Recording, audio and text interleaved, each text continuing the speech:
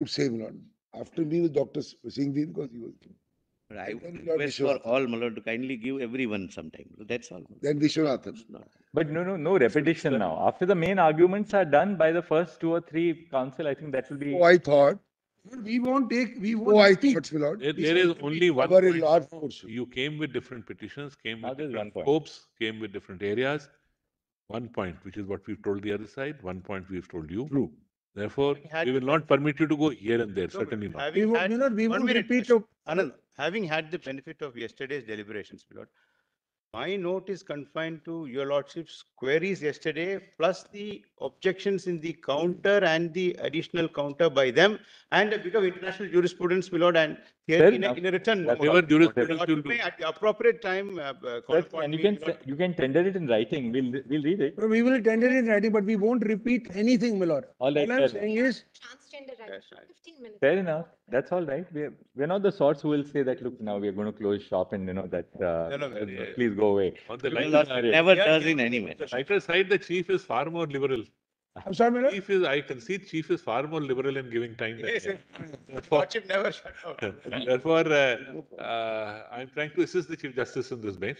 And one of this is everybody will adhere to very limited period of time and stick to the point. Period. Point and not repeating, and not repeating. And Anji, without not the prior repeating. written note. Lord, All only right, one let's thing, get my lord. started. Before, before, my The lord, the prior petition- written note. Yeah.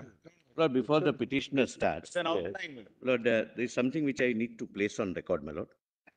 Okay. Your lordships need not read. I have given the copies yesterday to the other side. What is it? What it is, is, my lord, in continuation of my request that states be heard. Lord, page five, directly your lordships may come.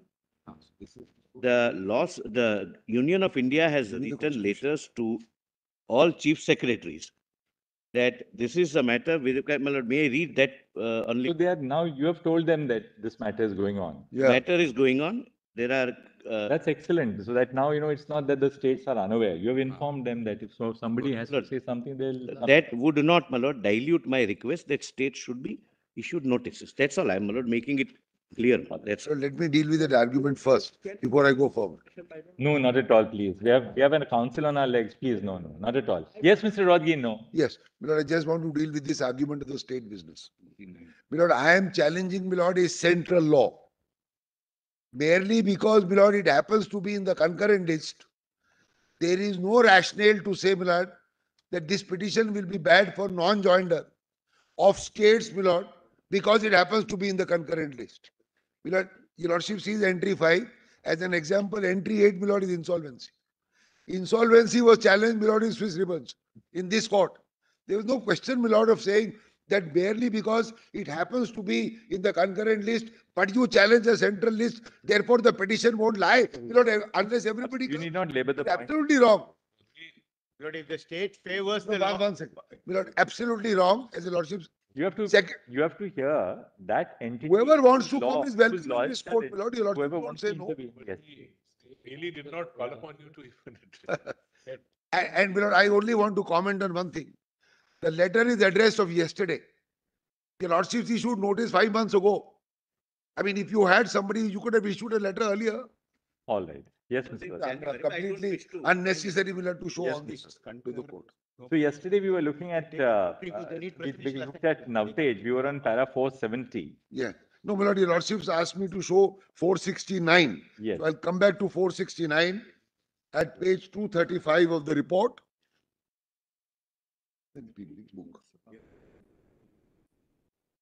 Four sixty-nine.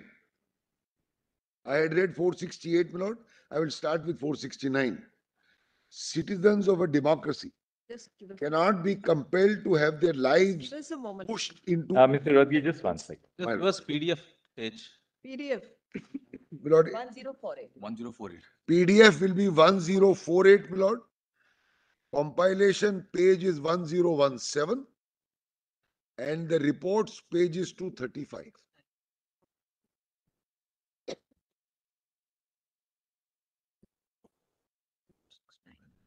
One zero four eight. Compilation is? Which compilation is this? Volume? Compilation one. Compilation one, my lord. Compilation four. Compilation four, volume one. Four is all the judgments.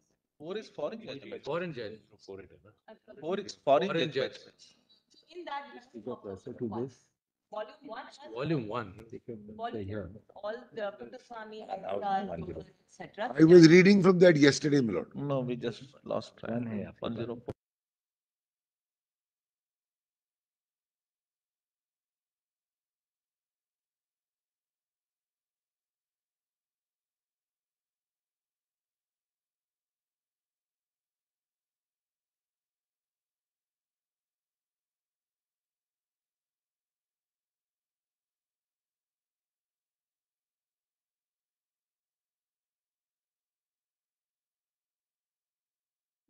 Lordships have, Four sixty-nine.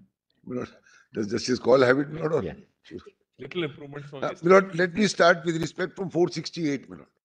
The contextually four sixty-eight. We are encouraged by lordships for our efforts. Mr. Dwivedi, I hope you are also working on your uh, iPad. I thought I'll, uh, Four sixty-eight. Chief has persuaded me to do. I'll try to persuade my lords, my colleague. The exercise of the natural and inalienable right to privacy entails allowing an individual the right to a self-determined sexual orientation.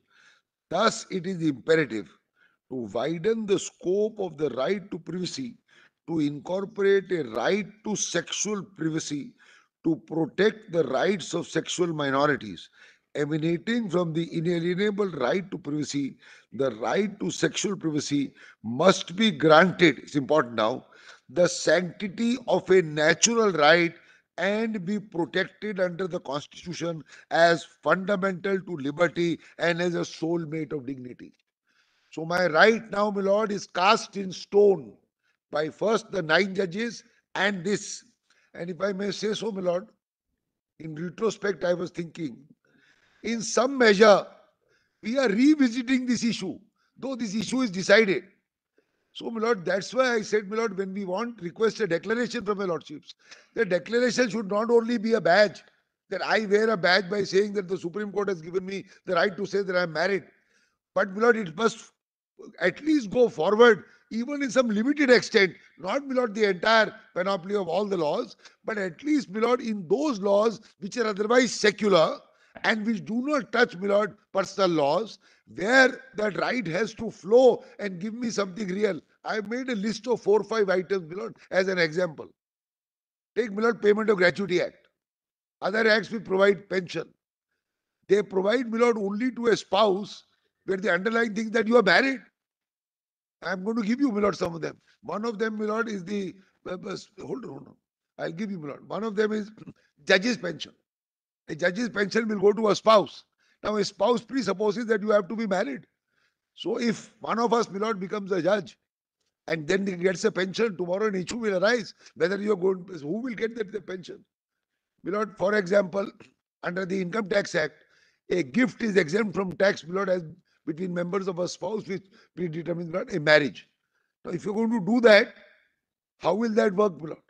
So, there are a large number of acts. So, the secular acts where, my lord, this issue doesn't arise of, my lord, uh, uh, personal laws. So the effect or declaration of marriage must flow to get us real rights where, my lord, these day-to-day things, at least in secular parts, are, my lord, involved. Motor Vehicles Act, Gratuity Act, Pension Act, uh, my lord, my lord, Juvenile Justice Act provides for, my lord, Uh, adoption. Says you can't adopt. As a living, you can't adopt unless you are married. So all those, lord, those at least it must flow. Otherwise, what will happen? I get a, I'm sorry to use the phrase, I get a declaration, I get a badge. Five years go, five years ago, I got that there'll be no criminalization. After five years, I get this badge. Then, when I go somewhere, again those problems arise. They say, no, Supreme Court hasn't give you anything. Given you a badge of being married, fine. In society, you can go around and say, I am a couple who's married. But what is the real impact on the ground? Therefore, my lord, I have framed uh, one or two reliefs, which I'll indicate. I'm only saying, my lord, idea should not be to go on revisiting. the same issue from Puttaswamy and Navtej, back and forth, back and forth. And we should only, at the end, if your lordships give me some, my lord, uh, declarations, as and when in some other issues, something has to be fleshed out, it will come back to court. Nobody can, my lord, think of impossible. Ring of litigations. Yes, Incrementally, as you call it. yes, Lord, rather than going at, going at it whole hog. yes, Whole hog you feel is a problem. yes. Why is it a problem? No, no, no, I, I am not saying it's a problem. You don't want, to, because you don't want to open up the other fronts right now. You feel, what is the reason? You feel it's a distraction? No, but I'm only saying, only personal laws. I'm only. I'm only saying, The point is, there is an organic hole in this. Yes. That's One point is, yes, get a declaration, then you say that in some of these, what you term as secular or I, I term them as secular, non-personal. so far, so good. Yes, But when it comes to personal law, this will also implicate personal law, isn't it? Because some of your com. Some of them will argue, my lord. uh, Yes. Menaka now, wants to argue. Therefore, uh, therefore, You don't want, all right. you may not argue. You, you, you have strategic reasons why you will not argue. But this court will have to engage itself once more, twice more, maybe three times or four times more. Yes, absolutely right. Each one of these. Should not have. The question is then we are not looking at it as a whole. You have to look at it. We are looking at it in a truncated manner, which means that we perforce, for the sake of, let's say, convenience or clarity, we say that we confine this declaration or whatever relief you are seeking to the Special Marriage Act, right? Which means that others who do not wish to or are not aware of this form of marriage, and I use these words very carefully, who are not aware of this form of marriage, of this going to the, uh, going through the civil form of marriage, we can't presuppose, we can't assume that everyone knows this. They are denied this, right? Either they choose their religion or whatever. If they choose to, then they are out of this. So that is one aspect. That is. one Second aspect is the intersect with personal law even here. So keep that in mind when you make this. Yes, Yes, yes, yes, yes, I'll tell you later. Yes, I, I appreciate, lord, your lordship's comment. and I will So now four sixty-nine. Citizens of a democracy cannot be compelled to have their lives pushed into obscurity by an oppressive colonial legislation in order to ensure the sexual and gender minorities' fulfillment of their fundamental right. It is imperative to, imperative to confront the closet and as a necessary consequence, confront compulsory heterosexuality. Confronting the closet will entail reclaiming markers of all desires, identities and acts to be challenged. It also entail ensuring that individuals belonging to sexual minorities have the freedom to fully participate in public life, breaking the invisible barrier that heterosexuality imposes upon them. The choice of sexuality is at the core of privacy, but equally our constitutional jurisprudence must recognize that public assertion of identity found in sexual orientation is crucial to the exercise of freedom. I submit 469 will fully apply and instead of the words colonial legislation, we can use, Milord, the words colonial mindset. It is that mindset, Milord, which started from then. Society has evolved. Your lordships, Milord, struck down the barrier five years ago. But some parts of that mindset remain, which is evident from the stand of the respondents, including that of the states. And this mindset is, Milord, is implicit in the ground or at the ground level. Whenever we go to public spaces and in the so-called, Milord, the secular laws, which I'm mentioning, which also will have to be read in accord with the declaration, if your lordship so grant the declaration. In other words, in other words, I will propose at the end, but I will just preface. My lord, wherever husband and wife is used, make it gender neutral by using spouse. Wherever, my lord, man and woman is used, make it gender specific, gender neutral by saying, my lord, person. And I will give you lordship examples in the Special Marriage Act itself. So kindly, my lord, note this. husband and wife should be used as spouse. And man and woman should be used as person. A large part of this, my lord, will solve our projected interpretation, my lord, of the Special Marriage Act. And what is good here must also apply across, my lord, the spectrum, at least of the acts, my lord, the examples of which I'm talking about. So that's why I said, my lord, four sixty-nine will fully apply by removing legislation into a mindset which is evident even today. Then, my lord, the lordship terms four seventy-one. Four seventy-one talked about reputable and dis- disreputable sex. Kindly see, my lord, the last line of that page. If one accepts the proposition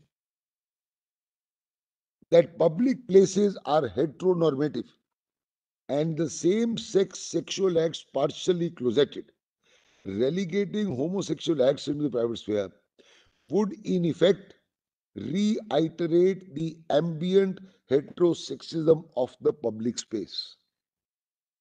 Which means, my lord, in other words, the rule of majority in public spaces. It must be acknowledged that members belonging to sexual minorities are often subjected to harassment in public spaces. The right to sexual privacy, founded on the right of autonomy of a free individual, must capture the right of persons of the community to navigate public places on their own terms, free from state interference. What I'm really requesting, lord, for a declaration of marriage is really a paraphrasing of this. When I walk into a public place, I walk into the public space with my partner, knowing that the law in the state recognizes this union as a marriage. Nobody will raise a finger of stigma against me. I walk into this public space. I walk into lord, public employment. I walk into private employment. I walk in lord, uh, uh, for pensions, gratuities, etc. That I am equal to the heterosexual group. And it's not that the heterosexual groups will have uh, uh, wishes or desires or their orientation is one which is correct and all others will are incorrect in the same phrase as reputable and disreputable in 471. So this, this started with my lord the negative part, that you won't do this. I am saying, let there be a positive affirmation of the fact that since we are equal, created by judgments of this court from Puttaswamy downwards, or Nalsa downwards, if we are equal, my lord, require an affirmative, my lord, nod from the court that you are equal, marriage will be equal, walking into public spaces, public employment, private employment will be equal. There will be no stigma. You will not be treated as lesser mortals, as was being suggested yesterday by one of them. And therefore, there will be full enjoyment of the right to life, dignified privacy in my own house, in public spaces, in public employments. That is what, my lord, that is the adversity which we are facing today. I'm only trying to paraphrase the adversity which we are facing today. You go to a school, you, you write, my lord, parents, names, passports, all those things, my lord, create issues. All those things create issues. Because that's how, my lord, the concept has been. But concepts have evolved.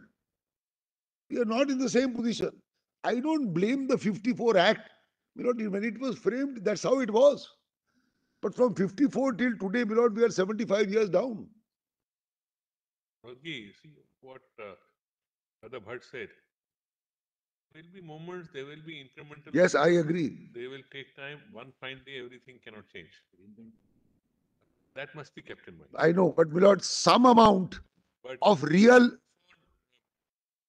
once, if you succeed, and the status of a marriage is recognized, um, and if somebody doesn't follow that status of the marriage in another thing, then it's a, eh, would say it's a violation of the order of the Supreme Court, if we agree with you. yes, If that is the position, then certain other changes will take some I have no doubt. Step But more time. my lord, I entirely agree.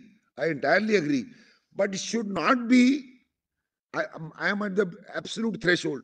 I am saying it should not be only, my lord, with that declaration that I go away.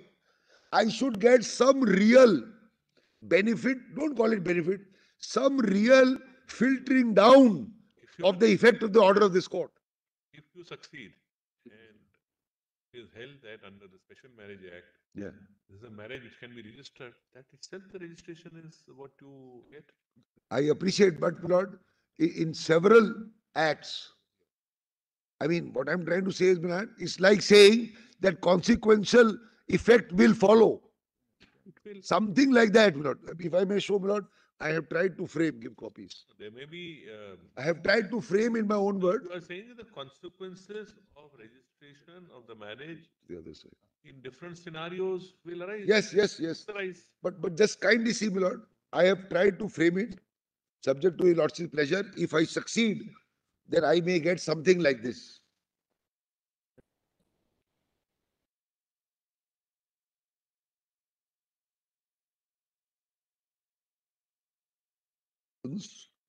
Are entitled to marry under the Special Marriage Act regardless of their gender identity and sexual orientation. This is the main declaration. The court may be pleased to direct that the marriage will be solemnized under the provisions of the Act. This is an adjunct of item one. The words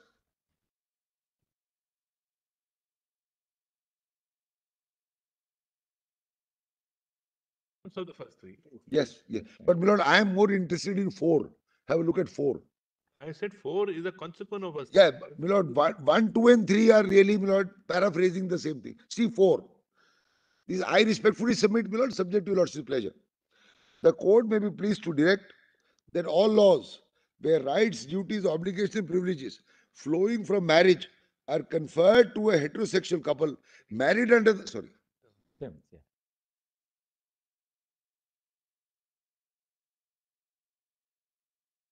Same thing, but you are saying that you want a specific, uh, explicit, explicit declaration, so explicit, my lord. uh, according to you, the area of litigation should not be so wide that it creates a problem. My lord, And though you're confining it to the special marriage. yes, You are saying whatever the consequences of registration yes, are, yes. must be available I am very grateful. My lord, we spend a lot of time in very carefully drafting Right. Lord, within the contours. Because it should be explicit. Otherwise, every time, my lord, you start somewhere, you come up to the Supreme Court, five, seven years go by, our lives are in any case passing by, you know, lord, it becomes very difficult. I am not saying, lord, that this struggle will end today. It can't end. But when we, if we succeed, we should get an explicit declaration in terms of four or as modulated by your lordship, lord, which flows from one. Then, my lord,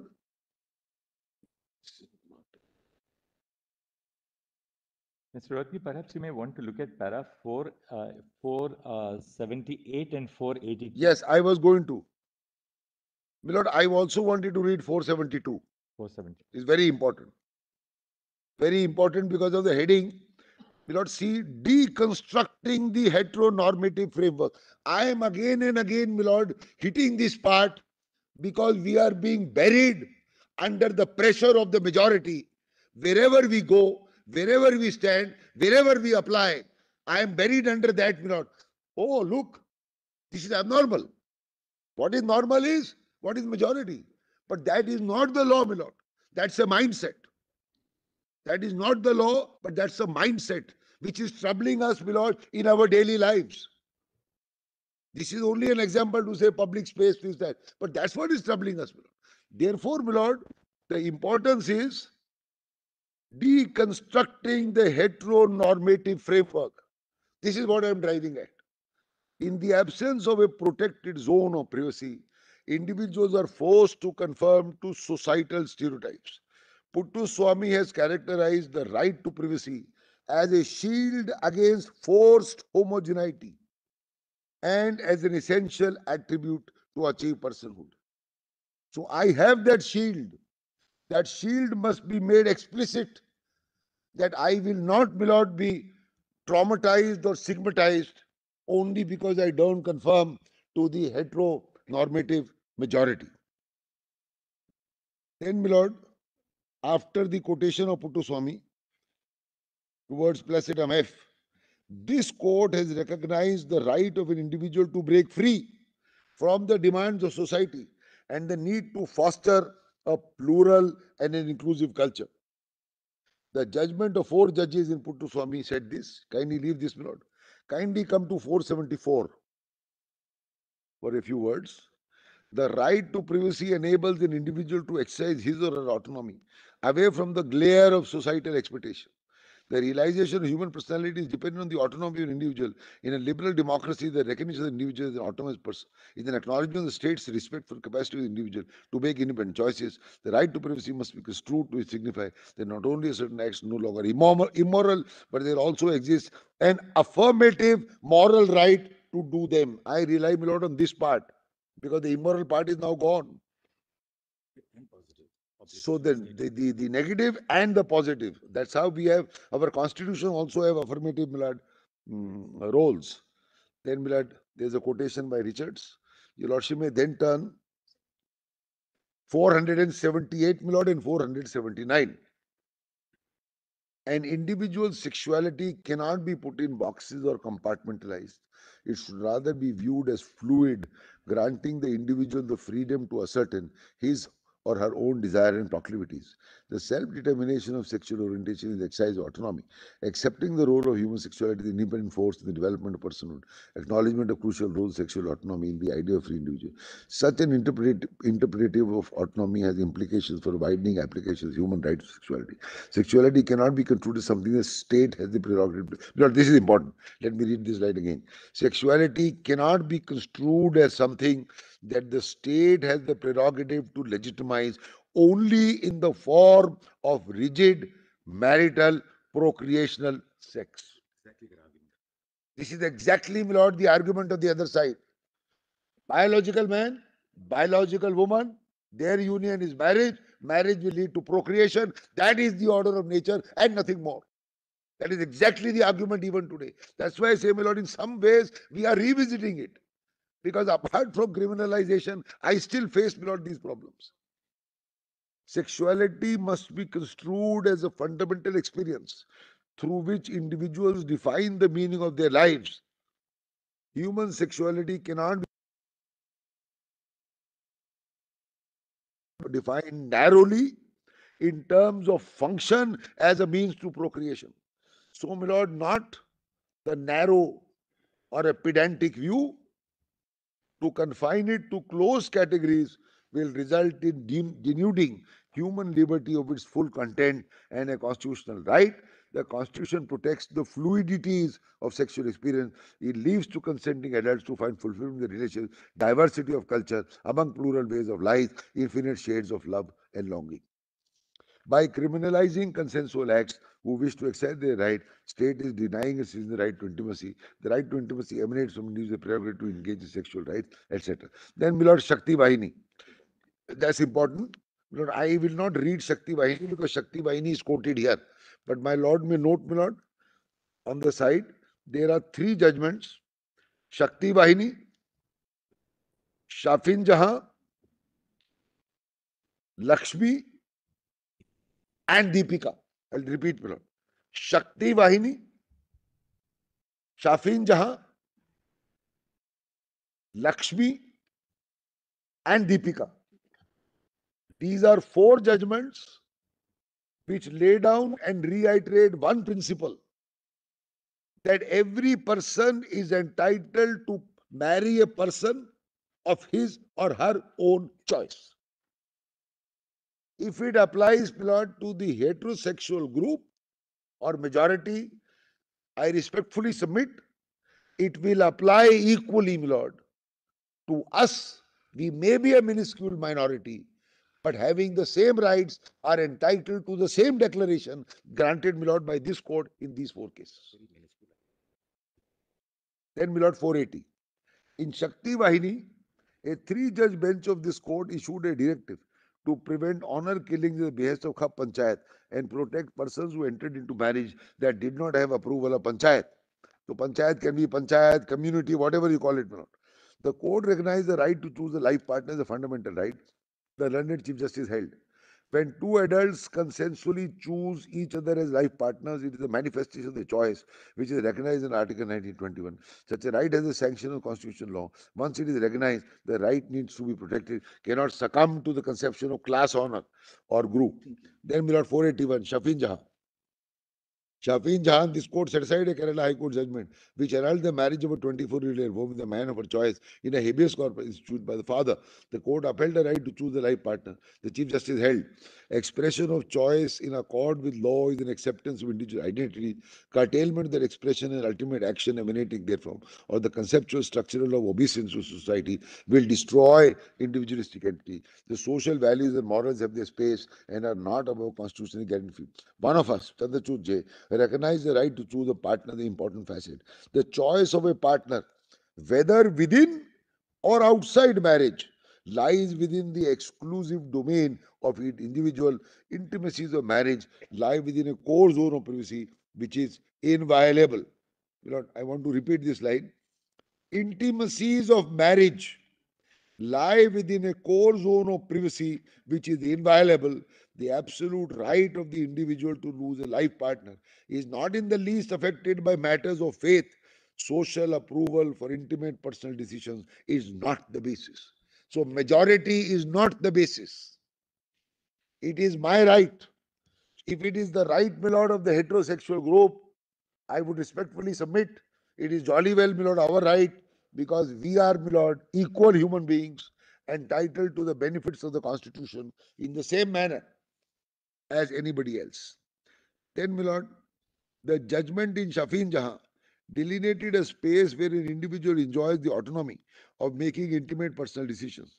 The strength of the Constitution, therefore, lies in the guarantee which it affords that each individual will have a protected entitlement in becoming a partner, choice of partner, share intimacy within or outside marriage. We are talking, my lord, of within today, outside, my lord, in any case is available. In furtherance of the Rawlsian notion of self-respect, your lordship may lord, last four lines of this para just above placitum G.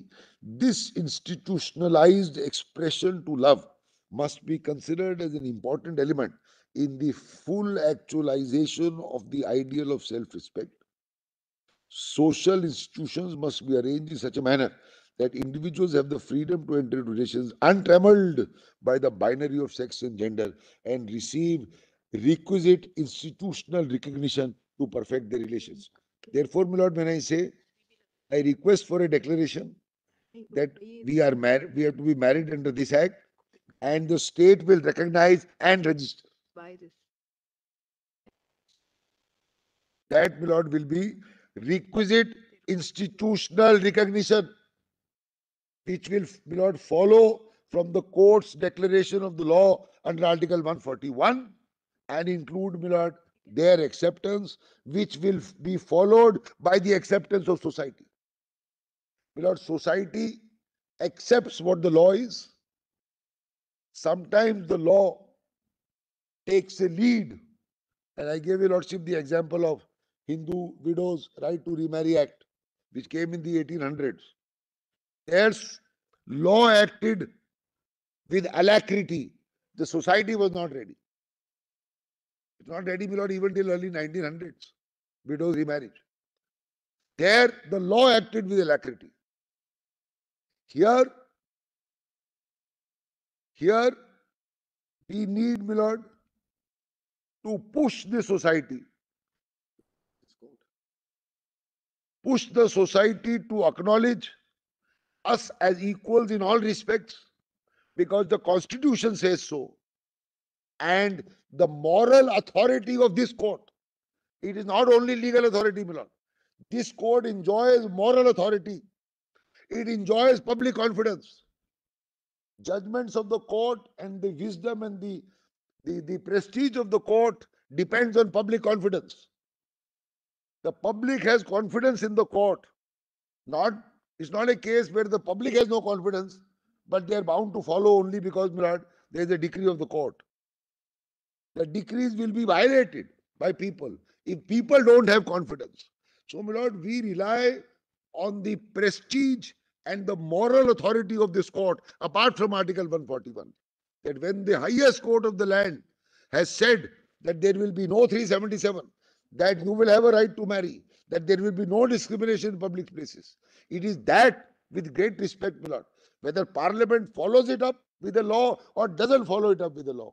That is what will drive the society in times to come, two years or five years, whatever it be, to accept this, this group as a fully homogeneous group with their differences and diversities within one whole. As Justice Bhat used the phrase, not one whole. That's how, lord, that's what we are looking at. How want us to settle. Lord, uh, my friend is right in saying, our parents have by and large accepted us. We are outside the closet. So we have gone through the process with our parents already, who belong to an earlier generation, to whom it was not the norm as we- we understand because the closet pilot was not opened 50 years ago. They have accepted. They want them to settle. They want them to have a family. They want them to have the same recognition, my lord. They don't want them to be ostracized. That the children are ostracized and the parents are ostracized. Oh, you have children who are not normal. So the ostracism will reach there also.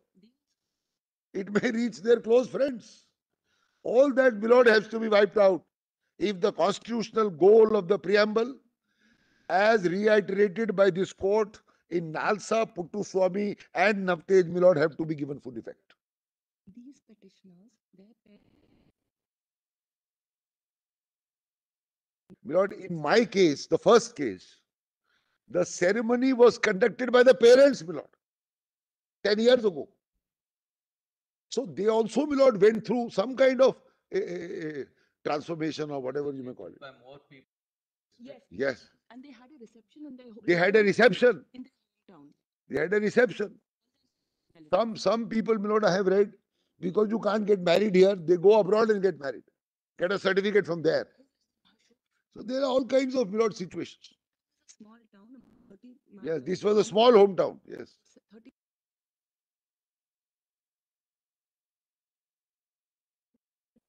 Then, Milord,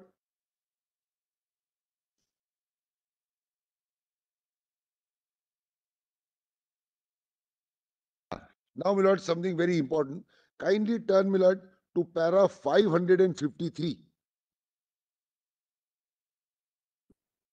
There is, Milord, in Justice Chandrachud's opinion, a huge discussion of foreign cases, but para five fifty-three is Milord US versus Windsor relating to DOMA, which I had given in that chart. So that description is here, Milord. It's important to read that. Because Nepal, recently, two weeks ago, another paper in Nepal has come with translation by tomorrow. Uh, only one more thing, Milad. Mr. Kirpal tells me just above 551, there is a reference to Nepal, Milad. Yes. There is a reference to Nepal just above para 551. What is that? Sunil, some Sunil. Yes. Sunil Babu Pant. Just above para 551. 550. 550.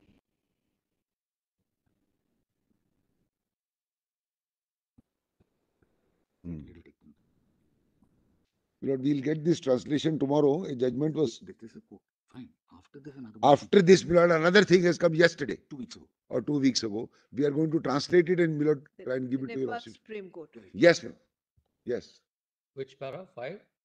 Five zero. Uh, I was reading, Lord, two lines above 551. In concluding, the court directed the Nepalese government to enact new legislation or amend existing legislation to ensure that persons of all sexual orientations and identities could enjoy equal rights. So now there is a fresh judgment reiterating this position and we will translate and give it to lordships tomorrow or day after. So it's not a case of urban elitism. Say from Nepal, not certainly not urban elite. Now say five five three. In two thousand thirteen, in the US versus Windsor, the US Supreme Court considered the constitutionality of Defense of Marriage Act DOMA which states that for the purpose of federal law, the word marriage and spouse refer to legal unions between a man and a woman. Windsor, who had inherited the estate of her same-sex partner, was barred from claiming federal estate tax exemption for surviving spouse since their marriage was not recognized. Kennedy J, writing for the majority, held that restricting the federal interpretation of marriage and spouse to apply only to opposite sex unions was unconstitutional under the due process of the Fifth Amendment. In the DOMA, it's DOMA's unusual deviation from the tradition of recognizing and accepting state definitions of marriage operate to deprive same-sex couples of the benefit responsibility that come with federal recognition. This is exactly what I seek, my. I respectfully submit, my it is exactly what I seek from your lordship. This is strong evidence of a law having purpose and effect of disapproval of a class recognized and protected by state. DOMA's about purpose and practical effect are to impose a disadvantage, a separate status, so a stigma upon all who enter into same-sex marriage made lawful by the unquestioned authority of the states. So the laws of the states of the US was at variance with DOMA. That you also find in my chart also. Then 554 below. Obergefell. Two years later in Obergefell, while analyzing precedent of decisions US courts recognizing same-sex marriage, Kennedy J observed, a first premise of the court's relevant precedent is that the right to personal choice regarding marriage is inherent in the concept of individual autonomy, like choices concerning contraception, family relationship, procreation, child rearing, all of which are protected by the Constitution. Decisions concerning marriage are among the most intimate that an individual can make. Kennedy J expressed the need to go beyond the narrow holding in Lawrence, this is the Lawrence, Texas case, towards a more expansive view in Obergefell. Lawrence invalidated laws that made same-sex intimacy a criminal act. But while Lawrence confirmed a dimension of freedom that allows individuals to engage in intimate association without criminal act, it does not follow that freedom stops there. Outlaw to outcast may be a step forward, but does not achieve the full promise of liberty. This is exactly, my lord, history repeating itself here. Your lordships have, my lord, annulled 377 as it was annulled in the case of Lawrence. But it can't stop there. It has to go forward. It has to go forward, my lord, with a declaration that we are entitled to the same rights of marriage as anybody else, so that we can walk, my lord, in public spaces. Now, my lord, yes. Now, then, my lord, next passage is very important. By a five is to four majority, the Supreme Court ruled that the fundamental right to marry is guaranteed to the same-sex couple by the due process and the equal protection clause of the 14th Amendment. Commenting on the right to marriage, Kennedy J noted, not this definition is classic. No union is more profound than marriage, for it embodies the highest ideals of love, fidelity, devotion, sacrifice, and family. It would misunderstand these men and women to say they disrespect the idea of marriage. They are pleased that they do respect it, respect it so deeply that they seek to find its fulfillment for themselves. Their hope is not to be condemned to live in loneliness, excluded from one's civilization's oldest institutions, namely marriage, my lord. They ask for equal dignities in the eyes of the law. The Constitution grants them that right. From your own for you, no relationship has been known. So, my lord, if this is good for society as a whole, it has to be good for us. It has to be good for us. And there is no reason that we should not be included in the whole. We should not be included in the whole or the wholesome, my lord, group of society. My lord, now, my lord, the principles at para 561, that is, my lord, the crux. The principles, and then one or two more passages, and we are done with this. Kindly turn to para 561, my. Two pages down. From an analysis of comparative jurisprudence from across the world, the following principles emerge. Sexual orientation is intrinsic element of liberty, dignity, privacy, individual autonomy, and equality. Intimacy between consenting adults is beyond the legitimate interest of the state. Then, my lord, point five. Uh, point four. When to read all that? Yeah, I'll read all of them. Yes, I'm grateful. Five sixty-one point two. Intimacy between consenting adults of the same sex is beyond the legitimate interest of the state. Sodomy law, sodomy laws violate equality by targeting a section of the population for their sexual orientation. Such a law perpetrates stereotype, lends authority of the state to societal stereotypes and has a chilling effect on the exercise of freedom. The right to love and to a partner to find fulfillment in a same-sex relation is essential to a society which believes in freedom under a constitutional order based on rights. Sexual orientation implicates negative and positive obligations on the state, not only requires the state not to discriminate, but calls for the state to recognize rights which bring true fulfillment. This is the affirmative part, my lord. The earlier part was the negative part or the negative injunction. The constitutional principles which have led to decriminalization must constant continuously engage in a rights discourse to ensure that the same sex relationship find true fulfillment in every facet of life. Lord, I pause here for a minute. This is what I am driving at. I require beyond the badge. I require this, my lord, I respectfully submit. Beyond the badge that I am married. Every facet of life where we face pitfalls when we go outside, my lord, the courtroom and deal with, my lord, ordin- like ordinary mortals. This is what we, my lord, face. The law cannot discriminate against same-sex relationship. It must also take positive steps. This is the affirmative part. The state should rather, my lord, come forward and, and say, all right, we accept gracefully, not grudgingly. Lord, the solicitor referred to the affidavit filed in Navtej. We were in Navtej. The affidavit said we leave it to the court. But the court commented on it in Navtej. That we wish that you should have taken a stand, in just leaving it on our shoulders. So it's not a matter of grace that the court said there, oh, we leave it to you. That's what the comment is in Navtej, Milad. Now, hundred and sixty-four. This evolution has enabled societies governed by liberal constitutional values such as liberty, dignity, and privacy, equality, and individual autonomy to move beyond decriminalization of offenses involving consensual same-sex relations. Decriminalization is, of course, necessary to bury the ghost of morality, which flourished in a radically different age and time. I submit, my lord, history is repeating itself. This was only five years ago. But decriminalization is a first step. Please mark this, my lord. Kindly read, my lord, the conclusions with this. If this is the first step, the affirmative steps remain. And I submit, my lord, that the prayers that I respectfully seek from your lordships are affirmative steps which will help me lead a dignified life like any other person. Then, my lord, uh, then your lordship may see only one more. But the last four lines of the Yes, constitution. my lord, I'll read. Constitution first. principle, yeah. Yes, sorry, lord, I should have read point more. seven. I should have read Five more. sixty-four, five sixty-four. What was they reading? After the first step, the constitutional principles on which it is based have application to a broader range of entitlements.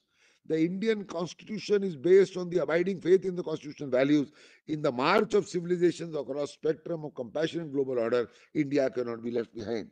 My lord, we have to at least go hand in hand with Nepal. Let's forget anything else. My lord, we are in this region. Let's not talk about the America. My lord, in the US also, a large part of the society is very conservative. Large part. That's why, my lord, you add this DOMA and this, that. And the fact that now in the recent past, they have gone back, my lord, on uh, abortions. They have gone back on abortions. It's not as if that, you know, they, they- being a industrial, industrialized country, they're, they're ve- ve- very much ahead. The entire South, the rednecks as they call themselves, you know, they, are- they are conservative. After Ober- After Obergefell, they have So after Obergefell, it has been accepted An act now. and they passed an act now. I, I mentioned that. opinion changes. So things change when the moral authority of an institution says that this is how please you look through this prism of gender neutrality, do not look through the prism. My lord, sorry to go back. This Victorian morality issue, my lord, came in 1800s when, my lord, Mr. Macaulay framed this law. You go back to Indian text. For hundreds of years, my lord, you go to Khajuraho, go to other places. You see, my lord, these acts are depicted on the walls for thousands of years. That remained, my lord, the concept of morality. It was not, my lord, this uh, Victorian morality which was in India for 1000 years. Our morality was very, very different, far more advanced, not Victorian, not stereotyped, not stigmatized in this form, not, my lord, this formal thing. You, go, you, you can go to so many places and see. But when, my lord, it changed, we have had a succession from, my lord, Lodi dynasty. Lodi Gardens, my lord, dynasty, thousand years old. Then came, my lord, the Mughal dynasty in the 1500s when Babur came. Then came the British. They occupied India. They imposed, my lord, their, their code and their moralities. So the society has traveled, my lord, through, I mean, my lord, twisting, if I may say so, twisting sands of time. What we were thousands of years ago, what we were, my lord, in the Mughal period, what we were, my lord, in the British period. And that British period stuck because they made the laws. They conquered India. India became one, my lord, dominion, like Africa, like many other dominions. We became a dominion, and those laws were imposed on us. Those Victorian models, morals were imposed. I am not on a debate, my lord, what is right, what is wrong. But that is how the shifting sands of time have, my lord, gone over thousands of years. That's why these words are important. That in the march, my lord, in this march, India can't be left behind. And more so, my lord, at least we don't have a debate like England. They don't have, my lord, a written constitution. So it's a matter of debate what, what the conventions are or what they are not. We have a written constitution like the US. Our constitution is very, very clear. And this, my lord, golden thread, thread, if I may use again, my lord, the preamble 14, 15, 16, 19, and 21 is now cast in stone by several judgments of this court on secularism, pluralism,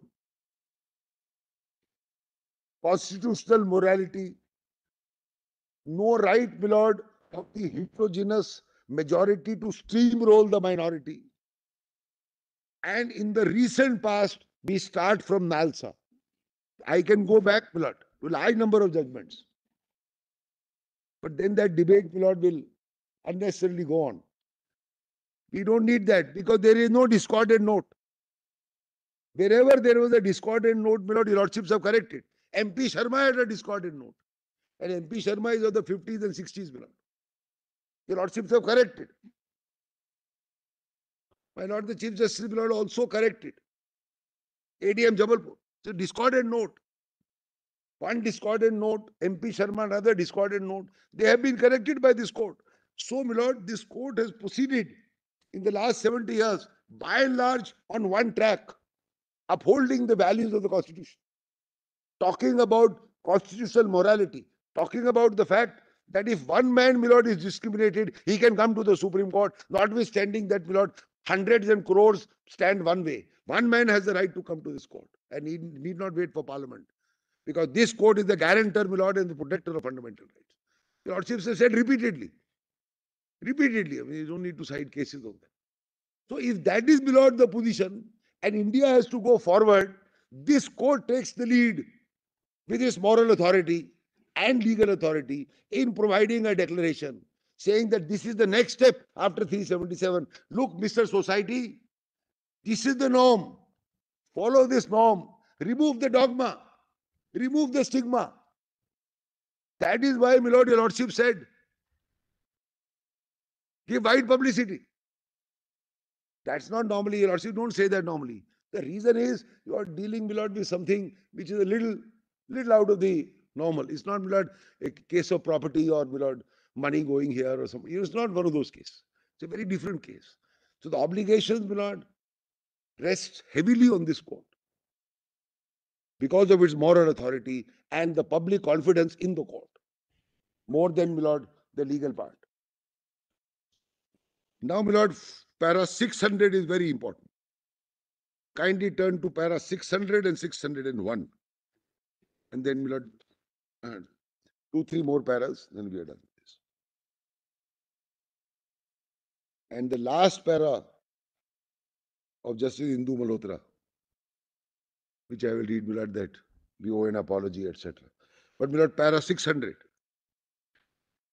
Constitutional morality requires in a democracy the assurance of certain minimum rights which are essential for free existence to every member of society. The preamble to the Constitution rec- recognizes these rights and liberty of thought, expression, belief, faith, and worship, and equality of status, opportunity. Constitutional morality is the guarantee which seeks that all inequality is eliminated from social structure, and each individual is assured of the means for reference the rights guaranteed. Constitutional morality leans towards making Indian democracy vibrant by infusing a system of brotherhood. That is, my your lordships are now talking about fraternity. This brotherhood takes you back to the principle and phrase fraternity, my in the preamble. Brotherhood comes from fraternity. There is no other phrase of brotherhood in the constitution. Your lordship may only note fraternity comes, my. Fraternity and brotherhood is the meaning of one or the other and is relatable to the constitution. Class, race, uh, or brotherhood among a heterogeneous population belonging to different classes, races, religion, culture, caste, and section. Constitutional morality cannot, however, be nurtured unless as recognized by the preamble. So, my lord, emphasis on the preamble, which became a part, my lord, was declared as a part of the constitution.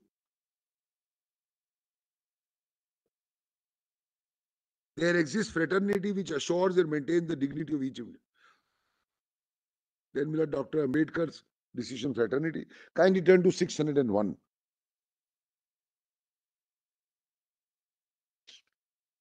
And as I said, my lord, when the Hindu code came in 1950, Parliament was not ready. The Hindu code, my lord, was not only Hindu Marriage Act, it had adoption, success, so many things. Eh, So, my lord, it's not accepted. And Dr. Ambedkar had to resign. Then it came, my lord, in a truncated form. First, my lord, this uh, uh, Hindu Marriage Act, then Succession Act, and the adoption, guardianship, all that, my lord, came separately, not as a part of the Hindu Code Bill.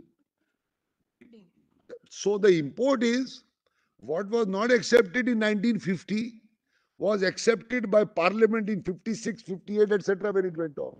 And then became the norm of society. Because nobody says today that there is some error in the in the Hindu Marriage Act. Prior to Milord, the Hindu Marriage Act, one could marry Milord three times. A Hindu could marry, have three wives. That became Milord in anathema when India progressed to the Hindu Marriage Act. That was the law prevailing from the times of the Mughals, the British. So we brought in a new social order. Sorry. This is the double-edged sword. Because then the argument of the other side is let the parliament do it. And It's all right, but Society changes. Milord, point is, point is, Milord, sometimes, as I said, Milord, the law takes the lead, sometimes society takes the lead. Mr. Rohatgi, your broad argument there would be that we are talking of constitutional morality. When My lord. somebody performs it, that is also constitutional. That's right. I'm grateful. And Milord, the simple answer is this to this query being raised and again and again. The power, jurisdiction, obligation, and responsibility of this court, which is cast on this court under the constitution, is only cast on this court. Even the High Court doesn't have that power. Only this court, as the final protector of fundamental rights and the final arbiter of what the law is and what the constitution is. 32 is itself a fundamental right. Your- If, my lord, I have a right, and that right is not being, my lord, given its full play, is being clouded or shrouded in some form by the majority, and if I may say so, by the state accepting the majority as correct, I have a right to come to this court, and this court will fail in its duty under the constitution, if, my lord, it does not remedy my right, say, no, I can't do anything, you wait for parliament. Lord, there can't be a mandamus to parliament. I have no voice in parliament. I have a voice to come to, lord, open the doors of this court and come here and plead before your lordships. None of us have a right to go anywhere else. Except to, oh, you are a representative in parliament, you go to your MLA, you tell your MLA, MLA will go there. That's not an answer, my lord, to the constitution. The constitutional touchstone only. I am grateful. That, that's below where it stands. And below this argument has been raised in other cases also. Oh, only 10 or 20 people are affected. Thousands have accepted. Take, my lord, some resolution or some decision of a government. Your lordships have always, my lord, struck down the argument. If one man is affected, he has a right to say that he is affected. If his grievance is valid, then the court will act on it. And that this 100, 200 business was one of the foundations, my lord, in Kaushal. Your lordship may note that. That judgment, my lord, which overruled Naz of this court, which was overruled in Navtej and Puttaswamy, that judgment said, oh, you are a small minority, you are piffling minority, Minuscule, and 200 prosecutions, what's a big deal? In a country of 100 crore, is so minuscule. So, so, so, my lord, something like de minimis. Your lordships have a principle of de minimis. If it is so, my lord, inconsequential, the court may not act. Yeah. That judgment was founded, my lord, on de minimis. The point is, if one man's fundamental right, my lord, is affected, he has a right to come. And that judgment, therefore, was completely wrong. In applying a principle of de minimis on the violation of a fundamental right.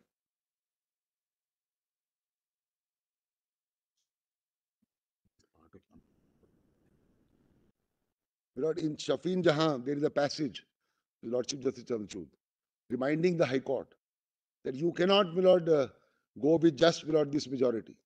I said, my lord, I'll show that. It's part of current. No, all right, let me read Ambedkar, Mr. Kirpal wanted me to read. My lord, Always good to read. my lord, para six hundred at the bottom of that page. Yes. Man who faced discrimination Yeah. himself. Yes, of course. My lord, your lordships are aware in London, wherever, my lord, famous people have lived, their names are, my lord, in a blue uh, uh, plaque on a building that here lived, say, X or Y. And one of those houses is where Dr. Ambedkar lived. With that blue plaque, they give the, I mean, the period where so and so lived, whether it's a Churchill or whoever it was. That's what uh, Ambedkar. An ideal society should be mobile, should be full of channels for conveying a change taking place in one part to the other parts. In an ideal society, there should be many interests consciously communicated and shared. There should be varied and free points of contact with other modes of association. In other words, there must be social Osmosis. endosmosis.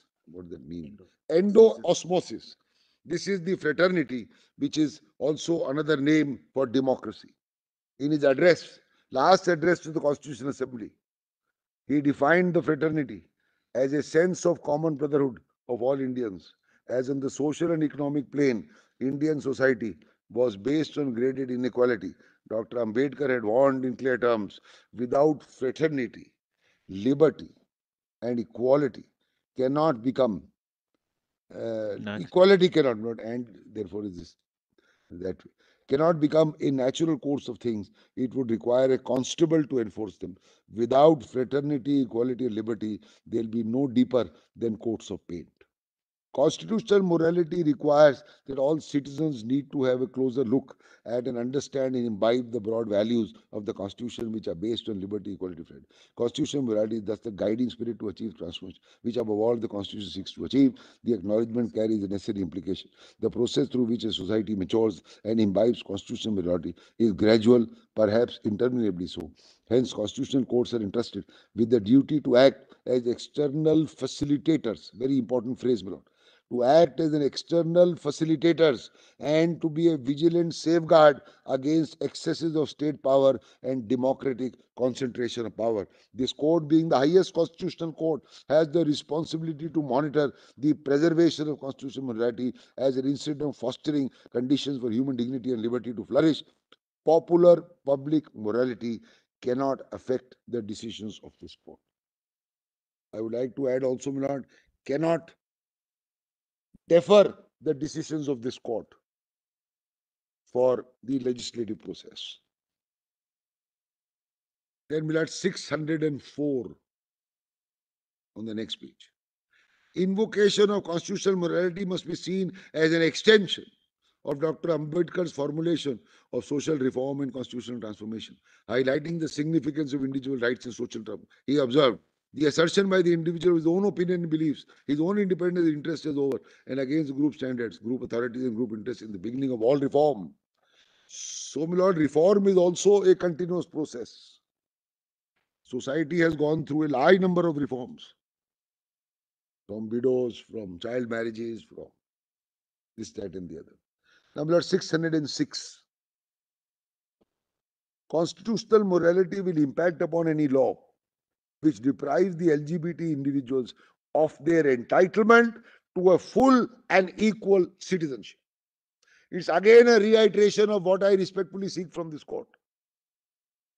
Nobody can deny, my lord, a full and equal citizenship will be sans marriage, will be sans a family, will be sans the respect of a marriage, and forever to be treated as those two people. After the constitution came into force, no law can be divorced from constitutional morality. Society cannot dictate the expression of social sexuality between consenting. This is a private affair. Constitutional morality will supersede any culture or tradition. The interpretation of a right in matter of decriminalization is beyond their determination, so may be determined by the norms. So, my lord, will supersede any culture or tradition. Reference was made to culture or tradition by the other side yesterday. 608. LGBT living under the threat of conformity, grounded in culture, morality have been denied to a basic human existence. They have been stereotyped and prejudiced. Constitutional morality requires this court not to turn a blind eye to their right to an equal participation of citizenship and equal enjoyment of life. Constitutional morality requires that this court must act as a counter majoritarian institution which discharges the responsibility of protecting constitutional entrenched rights regardless of what the majority may believe. Constitutional morality must turn into a habit by citizens. I respectfully submit, my lord, it will become a habit only when it is so declared by an authority no less than the Supreme Court on account, of its moral authority. By respecting the dignity, this court is only fulfilling the foundational promises of our constitution, which is, lord, way back in 1950. Today we are in 2023. My lord, 613.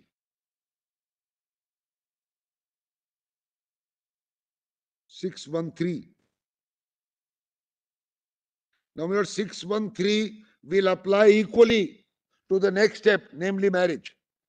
The choice of a partner, the desire for personal intimacy, and yearning to find love and fulfillment in human relationships have a universal appeal, straddling the age and time. In protecting consensual intimacies, intimacies, the Constitution adopts a simple principle: the state has no business to intrude in these personal matters, nor can societal notions of a heteronormative regulate constitutional liberties based on sexual orientation. Actually, my lord, most of this applies not only to my lord decriminalization, applies to our position today. Maybe it had been argued then, maybe it would have been done then, because this is the basis. I am not invoking any new basis, my lord. The basis is already set. It's already the law of the land. But it stopped at decriminalization because that was the issue then. But my lord, Nalsa, Puttaswamy, and this, and the basis and the groundwork cemented by this court is the groundwork for the declaration which I seek, my lord. I seek no more. I don't seek any extension. It is already here. Everything is here. C six one five, my lord. Second line. In addressing the LGBT rights, the Constitution speaks as well to the rest of society. In recognizing the rights of LGBT, the Constitution asserts itself as a text for governance about the dominance of sex, uh, which promotes true equality, does so by questioning prevailing notions about the dominant of sexes and gender in its transformational role, the Constitution directs our attention to resolve the polarities of sex and gender. In dealing these issues, we confront much that pol- polarize our society. Our ability to survive the free will depend whether constitutional values can prevail over the impulse of the time. That is of the current times. Uh, my lord, 616. 158 years is too long a period for the LGBT to suffer the indignities of denial that has taken 68 years in after the advent of the Constitution is a sobering reminder of the unfinished task which lies ahead. Also a time to invoke the transformative power of the Constitution. Then we had the declarations in 618. See, lord, 618 too. Now it applies equally here today. It doesn't apply or limited only to decriminalization, my lord. See 6182. Members of the community are entitled as all citizens to the full range of constitutional rights, including liberties. The choice of whom to partner, ability to find fulfillment in intimacy, right not to be subject to systemic behavior are intrinsic to constitutional protection. This applies equally to marriage. Not restricted, lord, only to that no case will be filed against you. Point four, lord. Members are entitled to the benefit of equal citizenship. This is the broadest phrase. Without discrimination and to the equal protection. I respectfully submit, my lord, these principles apply with equal force today. After a passage of five years, these principles are the same, even for what I want. Then only one thing, my lord, I wanted to show. Kindly, my lord, turn to 640. This is Justice Indu Malhotra. 640.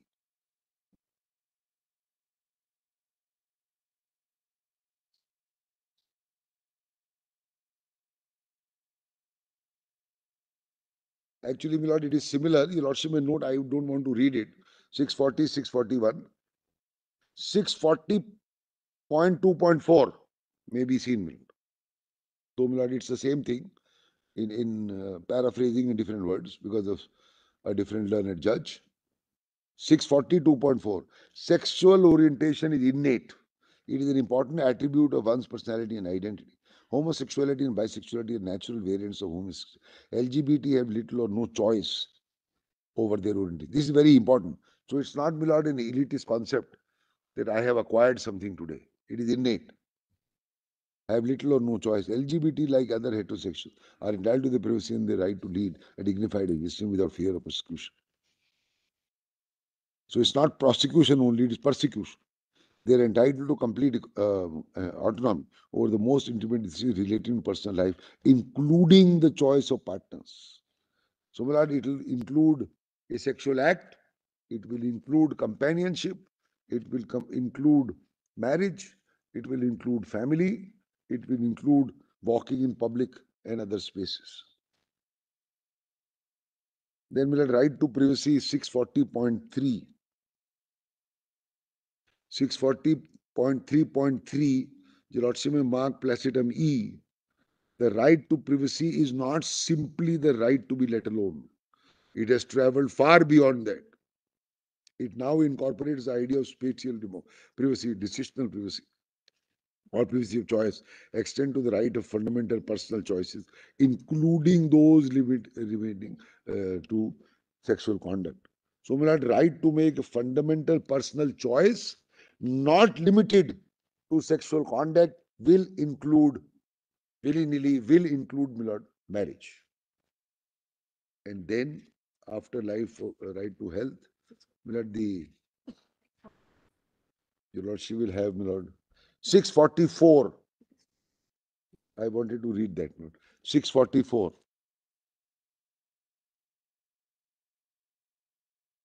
History owes an apology to the members of this community and their families. So it's not only community, my lord, I emphasize family, family is also here. For the delay in providing redressal for the ignominy and ostracism that they have suffered through the centuries. The members of this community were compelled to live a life of fear, reprisal, reprisal, persecution.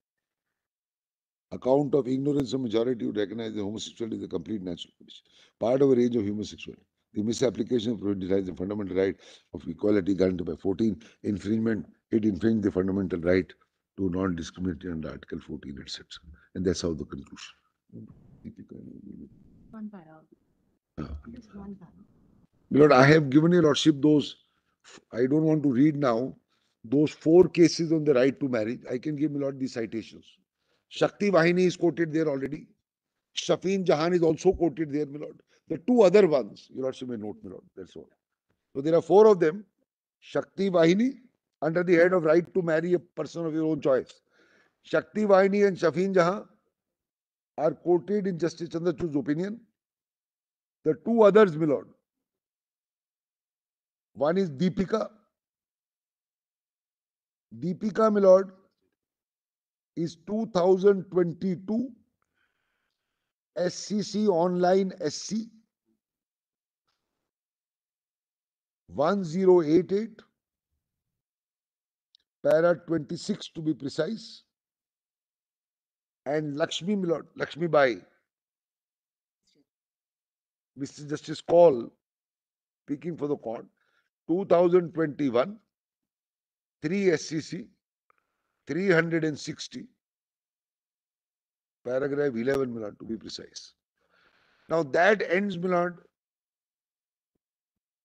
Sorry, the Mr. placing of the law, Okay, in Deepika saying what para did you specify?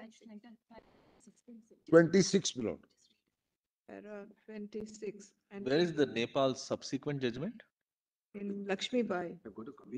Of Deepika? Nepal judgment subsequent. Yeah. that's- Nepal. Got it now. Oh, you got it? I'll get a printout and give My it. lord, I'll get a printout and give it to your lordship. Headline, the Nepal judgment. My lord, your lordship might, You have given all this in your compilation. yes, You could just give the page numbers. yes, That's fine. I'll do that, I'll do the that. Nepal judgment, you can email separately. You can separately email it to the court master. We'll give that. That's all. Email it to the court. Yeah, Chiram, I'll leave go that. ahead. Now, my lord, we go to the special marriage act.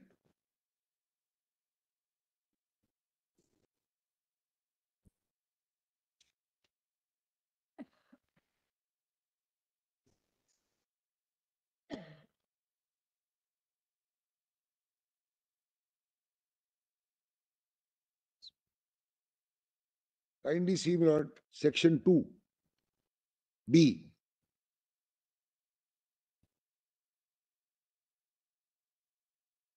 My lord, as I had mentioned yesterday, section two, like all other sections in other acts, starts with unless the context otherwise requires. So there is elasticity as a measure of a legislative tool to alter the definitions if the context requires, me lord, because no act can look at all the situations which may arise. But I am not restricting my case only on this, because I am saying, my lord, this legislative tool may be good when you are discussing a normal law, but today we are discussing a constitutional provision. And if the constitutional declaration is granted, then all subservient law, all laws are subservient to the constitution. They must then be read in conformity with the constitution. It is on that principle that I am going. Is unless the context is, my lord, for normal legislative uh, issues. So now, my lord, please see to be degrees of prohibited relationship.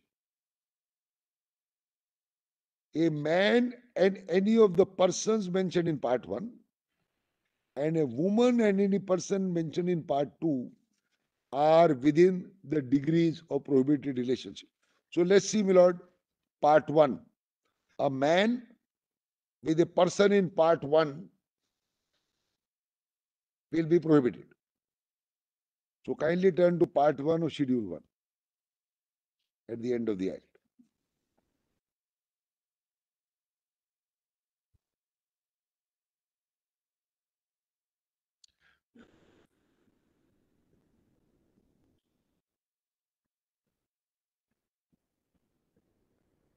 So that's in part two.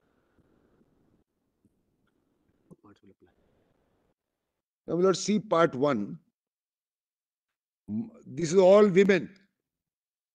So prohibition is that a man will not have a union with all the persons named in part one. And similarly, a woman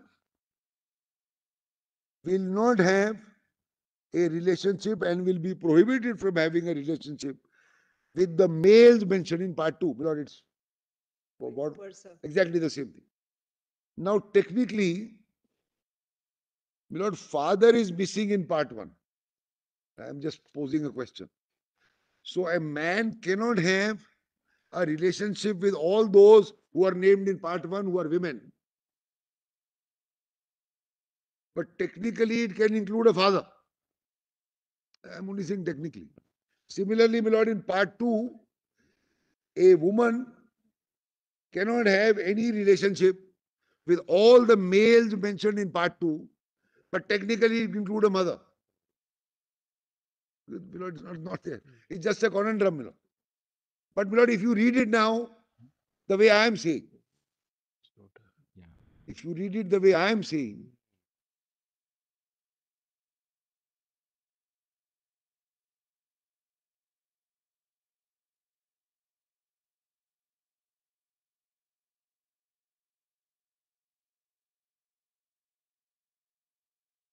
Lord, man and woman as a person, so a person, a person and any person mentioned in part 1 and a person mentioned and any person mentioned in part 2 So both will apply now. Both parts. There'll be both cumulative. Correct. Club them. Correct. You're saying club them. So what you want to read it as, Mr. Rohatgi, as one understands is a man, instead of a man, any um, person or any of the persons mentioned in part one and two of the set schedule. Simple. This is what you're saying. So according to you, if two men are getting married So under the cons- special. Consequently, my lord, once it is person, then one and two will coalesce, will coalesce and become one. But it, bec- in fact, it is better reading. If it becomes one, part one and part two will coalesce into one list. And then. So if it's two men getting married, it's not just part one which will apply. Likewise, if two women are getting married, Correct. it's not just part two. my lord, apply, my lord, According to you. my lord. It just so happens to fit, my lord, when I was doing this, that's how it fits. See, my lord, for example, But this is also a tacit indication that the Special Marriage Act didn't contemplate people of the opposite uh, sex getting married, actually. Oh, the- sorry, sorry. Uh, This, I'm, I meant same sex. my lord, Same with, sex. with ultimately, my lord, Yeah. One can say you're doing violence on the conventional It was, it was 1954. Ah, no, one can say you're doing violence by doing all this. But my lord, if this has to conform to the constitutional declaration, it has to be this. Otherwise, this will become unconstitutional if the declaration is granted. We don't want it to be unconstitutional. We want to utilize it. Actually, I was telling brother that one of the relation I just saw is sister's daughter. Yes, uh, column thirty. But uh, in many communities in many Right. Areas, it is almost an intrinsic right to. uh, right. There's a marry the sister. Custom, yeah. There's a So therefore, we are in such a varied country that. uh, Yes, my lord. There are. Lordship is right. instances which This section four D proviso, which talks of where it's Custom. permissible under custom. So That is saved. I was only flagging. That is, even sa- these Justice Bhat is right, my lord. If your lordship very sees, difficult. I'm saying it's very difficult to put down in, in uh, hard words where you have such a very Yeah. And customs and. Uh, now, my lord, kindly see section four, conditions relating to solemnization. Now, four one refers to person, so there is no problem. Four one A also refers to a spouse. B refers to party, no problem. They are gender neutral. Now see C, my lord. C has males and females. You leave it as it is. If two men are getting married, it is eighteen. If two female or twenty-one, if two females are getting married, it is eighteen. You don't need to change it. My lord sees, Justice Kohli sees, my lord see. Well, idea is that you, you get, go beyond your. Yes, say, yes. Then again, why? Why revert to male and there? female? See, Then then you are it saying becomes- person. You're flitting in and out. Yes. comes to prohibitions, for one, you revert back to your, and then if there are problems when it comes to uh, transgender persons. Yeah. Yes, yes, yes, yes, yes, yes. Now, my lord, for example, Then you have to read it like that. Person. Yeah. So how would you read? only, if you were only thing is, my lord- substitute- sorry. How would you read, say, if you were to substitute the word male and female? You would say. No, so my lord, one way to read is a person. Yes. If you read it as a person, then it will give a dual age. What will be eighteen, what will be twenty-one? Then, That be the problem. I mean, I don't mind reading it as a person. So it will be, a person has completed twenty-one No, it can't. and the person is, So for the purposes of the main part which you seek a Yes. definition of, where it's a person, for the main part. my lord, It's a person. Yes. Neutral in the sense right, neutral. it is gender neutral. But for C, for purposes of C, you have to, you say we will. So you retain male and female because there are two ages, my lord. But then you are addressing only. But you- uh, only addressing male and female. Increase the minimum. My lord, I- there is a proposed bill to increase eighteen to twenty-one. Right, There is already a bill because they find that eighteen is also too low. right. For child, my lord, uh, marriages, eighteen is also too low. So they want to make it twenty-one. The moment eighteen becomes twenty-one for women, That's a slightly dangerous argument. then. no, no, I'm only indicating. My lord, I'm not an argument.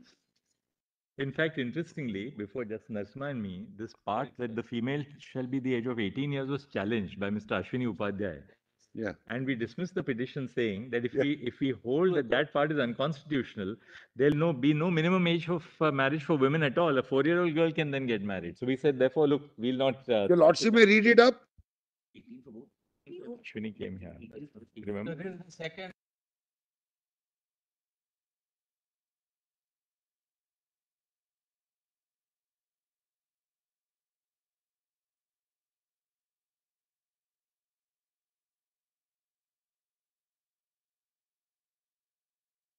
Does it impact, how does it impact those who for a heterosexual couple? Because then you will be looking at this interpretation in a different. Yes, yes, absolutely right. Because, the- because we can't forget the heterosexual group, That's right. because they can also get married. So we can't forget it. So keep that and keep it as it is. No, No, then no, in that case, what you're saying is for sex relationship, this is in person. For heterosexual couples, for heterosexual, Yes. this is part one and part two apply. Right. That is one more, That is one way, yes. Yes. one way, that is. No, no, correct, correct. So t- your lordship is right, keeping the distinction in mind for the heterosexual and for, my lord, this. And then there's a third way, which is for a same-sex male couple, Yeah. it'll be 21. For a And female same-sex female couple will be eighteen, Would be uh, 18. will be eighteen. I, I don't know. Ch- That you deal Do it exactly for the transgenders. I, It is to Then make everything as looking- twenty-one for, for purposes yes, of. no problem. We have no problems. Then if you Now see, my twelve, by, sorry. One, one, please. if you go by the, till the, the act which Yes. Solicitor pointed out Yes. yesterday. Yes. There are so many other spectrum varieties. How do they get accommodated?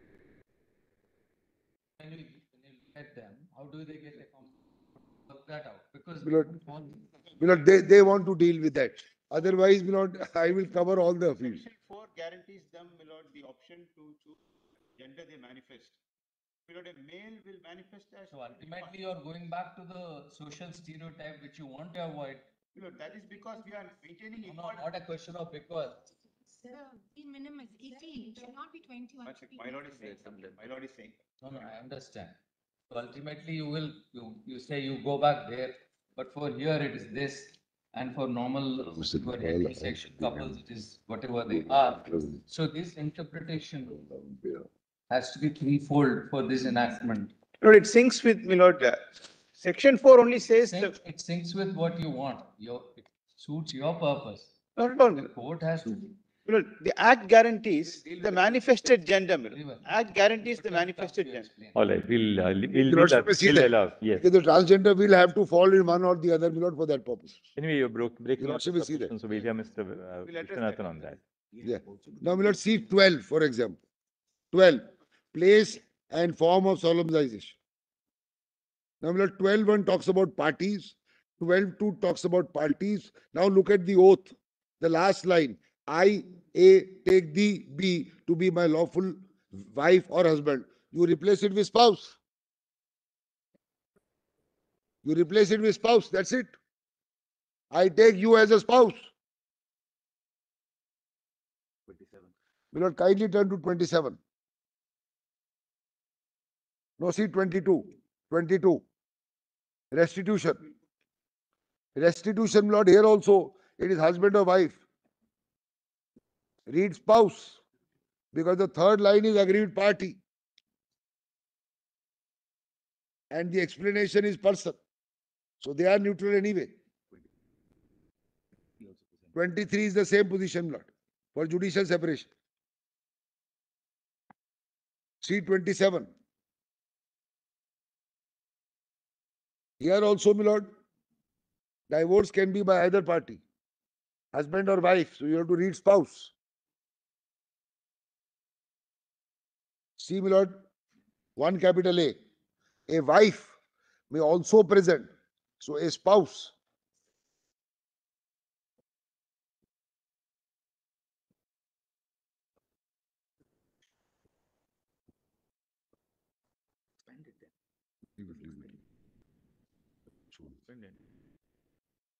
That's all. Then my lord, 36, 37. Now this is the right, my only to women, 36 and 37.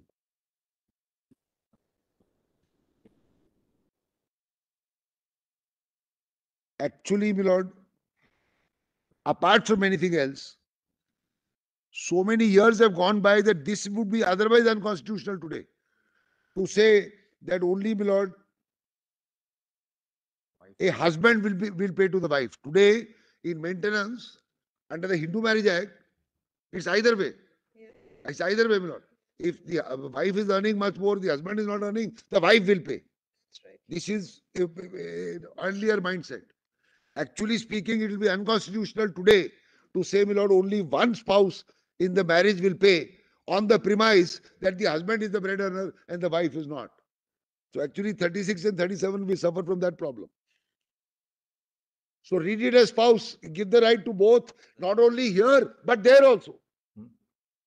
I was just. So, my lord,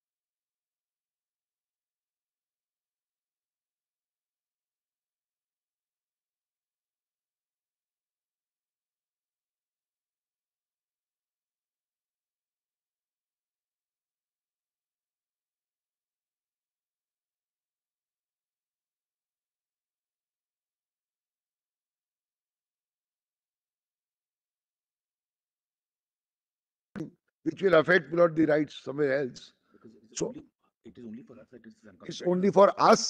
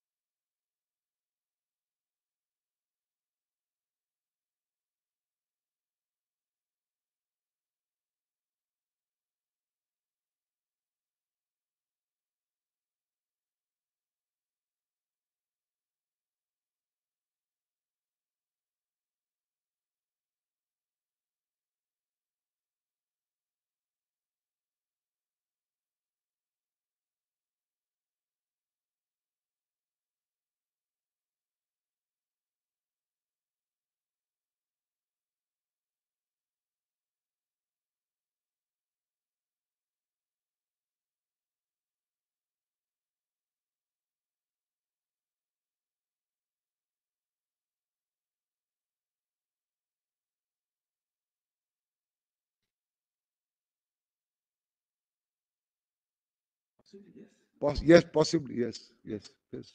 So it This is what I was. pointing Yes, yes. How do you deal with this twenty-seven one?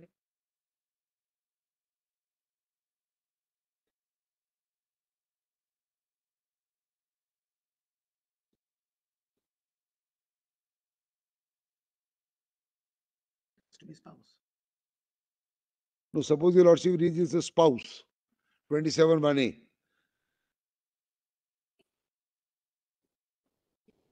The gender Sodomy, bestiality is not. Problem is bestiality also in it. Huh.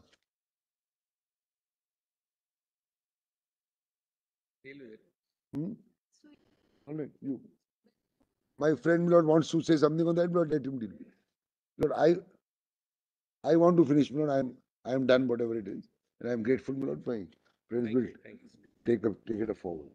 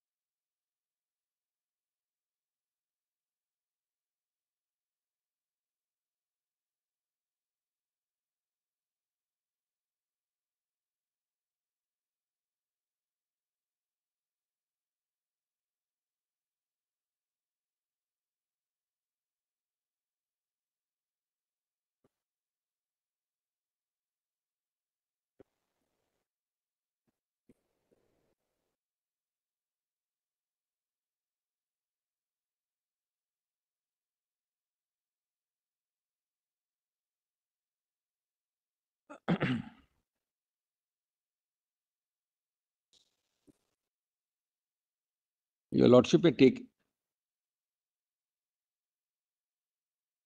Your lordship may take it, Willis, that I've heard very carefully the sequence, the preliminary objection part, what my learned friend has argued. Ninety-five percent will not be repeated, Willis. There'll be some slight overlap here and there. Your lordship may not get the answer in the immediate sequence your lordship wants, but I'm going to be dealing with all of it, Willis. Your lordship may rest assured. And I'll have, Willis, broadly three heads of submissions, which will carry me till tomorrow. But Willis, may I just uh, tell your lordships, How long, what's the time? well, it's, uh, uh, I was hoping to do substantially today, but I'm now starting late. Willis, tomorrow sometime pre-lunch or just at lunch. I'm- And I'll, I, It can't just too much. Well, I'm, I- it up today. Today, well, today. it would Your, be- your abilities to put it in point-wise form, No, Willis, I. I think understand. should uh, finish it much before today, I I, thought. I'll tell your lordship today. I'll tell your lordship. That may not be so, Willis, despite the best of my abilities or lack of them, Willis. Tell your lordship, this is a matter of some moment. I am not repeating. I'm giving your lordship, Willis, facets which are important. But, Willis, I'll be going in a, Can go to seventhly, eighthly, we'll go. Well, it's Seven or eight submissions. we pointillism, to Willis, a- point- pointillism is a virtue which your lordship is putting against me, Willis. I thought, Willis, I was We are getting a appreciating virtue. your virtue and asking you to stand by your virtue. Singhvi, from the T twenty or one day international, we have gone into the test. Uh, this- Well, This is, this is at least between a one day and a test, if not a test. Well, uh, Your lordship will find it, let it flow, Malad. I'll not Alright. repeat, I won't take a lordship's time. Maybe there's a slight overlap tomorrow, but today it might not be possible. I wish I had started earlier, but my learned friend had uh, other issues to deal with. Today, yeah. Now, can I, Dr. Singhvi, you will have to. uh, Today we'll, See, these matters, um, you have experiences of more than this country, I keep repeating. Nowhere, nowhere I say in the world will arguments proceed in a manner where there's some kind of an Your- infinite time. your We are lordship liberal. will. I think courts are liberal, whatever, maybe matter of the moment, maybe the most crucial issue, maybe the most issue important for the country, but uh, Oh, I don't matters think will- timeframes can spill over. Some matters, Malad, are evolving, they evolve, Whatever it Malad, may be. as you argue, and more importantly, as your lordship asks questions, which is very important to make the matter evolve. If you don't make us be quiet. If- No, I'm saying, well, it's more important to make it evolve. No, I'm it saying follows- therefore, if it is a presumption that our, our intersections, uh, interventions cause No, problem. Malad, I'm saying just the opposite. Therefore, it's absolutely the, to my mind, I'm very clear, it's absolutely the outer limit for today. are there any written submissions that have been? We have, Malad, we have. Let us see Malad, how it And progresses. I'm, I'm confident you will be able to do it. Let's, Dr. Singhvi, I'm sure there's something which can go from the bench to the bar, which is that, you know, sometimes you feel that merely because you had longer time to decide a matter doesn't mean that you decided it better. no, no, no. Because The lordship will see Malad, how much sometimes because you had a longer time, you might have forgotten something also as well.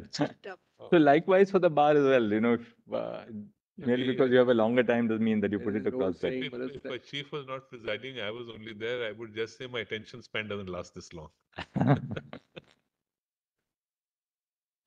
Now, well, it's, Any argument.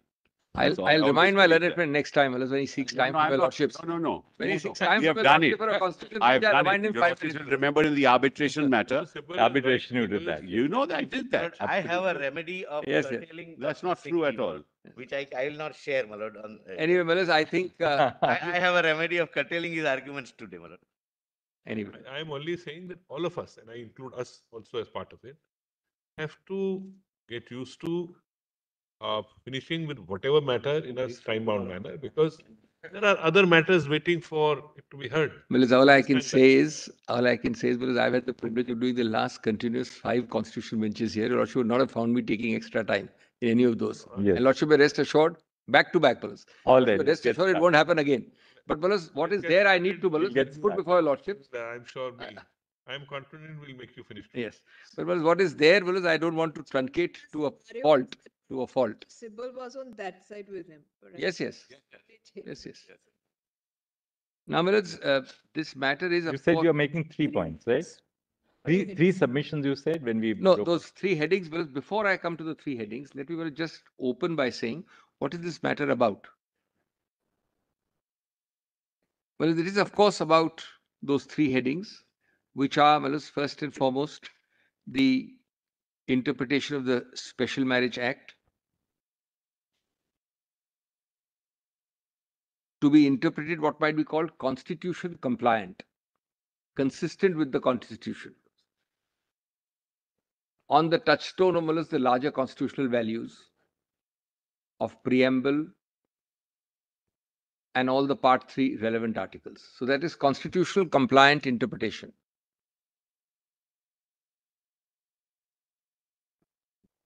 And that brings in 21, 19. Most, the operative word is non-discriminatory or a discriminatory exclusion or achieving a non-discriminatory inclusion. That's the most important catchword in this case was. That is the first head.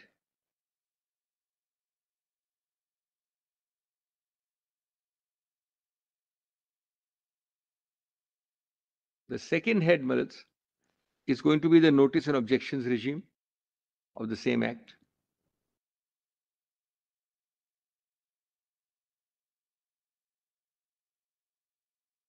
And the third would be, well, as the relief, which your lordship will modulate or tailor or well, as mm-hmm. mold in whatever appropriate form your lordship wants. Just one point of- On the second point, is there, I, I take it that there is a petition asking for a declaration? Yes, our, our, in particular, my petition, No, no, particular. Director. Directly, there are more also. No, no, There are it's all I just So long as there's a, Absolutely. so, so long as The there's a matter chair, then there's. no- admission. My learned friend was told, well, rightly that there are other matters pending, but he said this is unique All to right. this point. And what is the third point you were saying? Third is remedies, well, how you Remedies. mold or tailor the remedies or achieve, achieve a result which is effective, Malas, on the ground.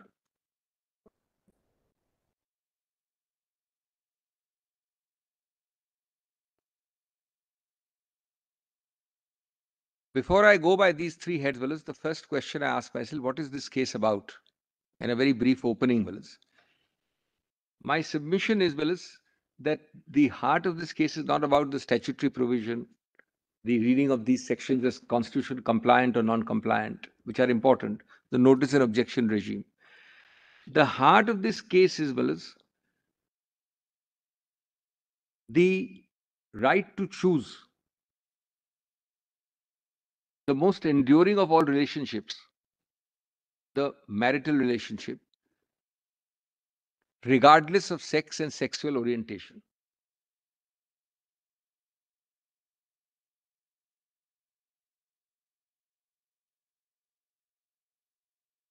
Regardless of gender or gender identity.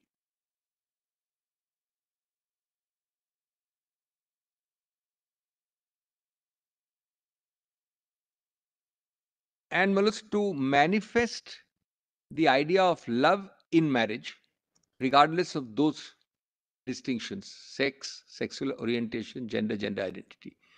The right to love, the right to manifest that love in the form of marriage, regardless of these identities, is the heart of this case. And the obverse heart of this case is the discriminatory denial to a section. The mirror image part of this case is the discriminatory denial to a section of the community to do it based on that sex, sexual orientation, gender, or gender identity. That's the exclusion, that's the discrimination.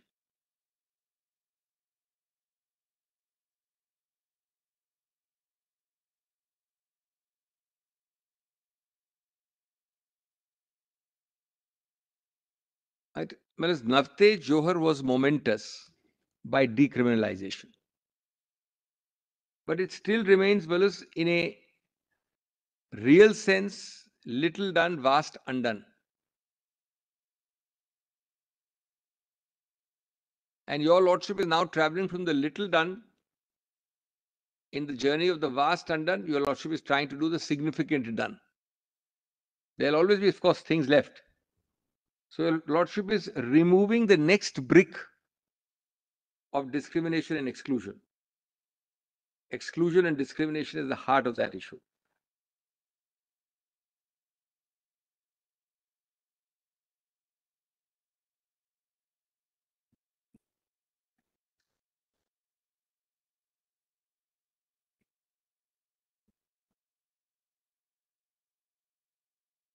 Your Lordship has dealt with anti-discrimination as the underlying philosophy of Navtej Johar.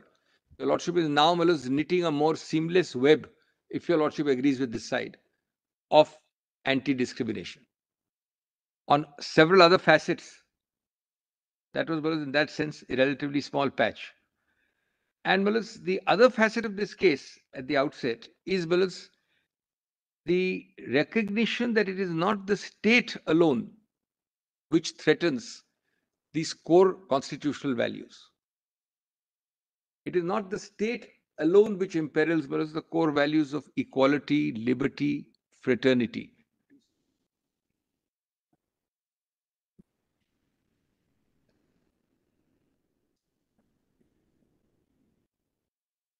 It is Malad's also groups, private groups, non-state actors.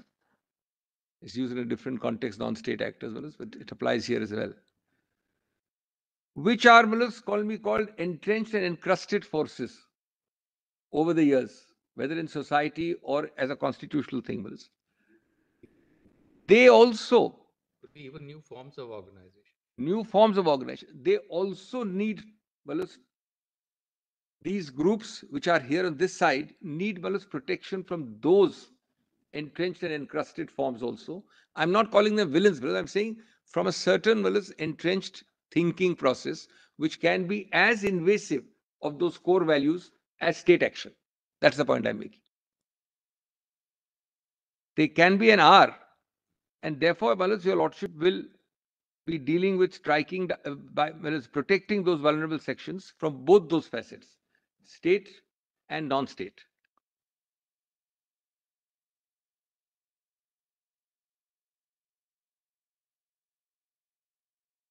What could be an example of that? One for one obvious example would be well, a notice and objections regime. One one one obvious example. I, I That, immediate reaction, but there are many more. I mean, uh, one obvious example is notice and objections regime. that, that, for that, uh, it's, that argument prevails. Yeah. That argument prevails for that, that uh, Ah. provision. But I'll be giving more examples as I go along, because vigilante groups. Uh, it's- No, the point is, social processes being what they are. yes. a declaration of marriage or even the kind of relief that you seek, how will that per se result in your protection? You will, you will, of course, that seven issue perhaps is a- the easiest way out. No, But otherwise, otherwise, the protection that you seek seek would, uh, would, would want us Yes. to give a far wider declaration. Now, assume your lordship were to hold that same person marriage. I'm using, I'm not giving into the consequences, is valid. The validation, the legalization of same sex or same person marriage is, Wallace, along with necessary consequences, a very big victory. Your lordship is not able to eliminate murder. But your lordship has said murder in law is wrong. When your lordship says murder in law is right, or in this case, well, something else is right, that is the protection. Once your lordship protects me by declaration, I am on the right side of the law. You're in the right side of the law for Yes. no, no difficulty. But those groups will continue to operate the, the way they are, unless what you are saying is this, the value of this right is such that the state is under an obligation to protect you. Absolutely. No, no, and that's it. Malas, Once your, no, no, once your lordship, It's not a mere declaration, we have asked specifically in our protocol. to No, be Malas, put in place for I, when the practice- I am going, Malas, further. It's not, it's not a small, let us for a minute assume your lordship doesn't do what he's asking. I am all for him, I am, We- let's assume your lordship doesn't do what he's asking. Your, The, the value that you place to fundamental rights, yes, one takes it is the same value. It's an indivisible value. yes, Right to free speech, for instance. yes. right to association and all those rights you can't privilege one over the other Correct. you can't privilege one over the other then what you're saying saying today is you are wanting us to strike another path and say that all these or at least start to start with you give this privilege this and give this right to us which which the state is bound to you know provide and protect us No, I am not, I am not asking for any new right. Well, I'm, first of all, well, No. I'm not using a Hohfeldian rights positive We're obligation. talking of Let me a- saying that you are asking If, if that's the argument, Yes. now in that sense, there'll be, uh, I mean, we'll be asking the state to do the- nothing wrong in it.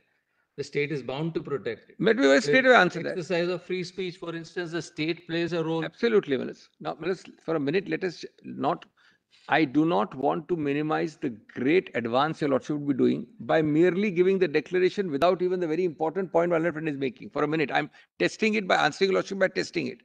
Your lordship, Menace, assumes, assume, Menace, that your lordship puts me on the right side of the law. With consequential, Menace, directions.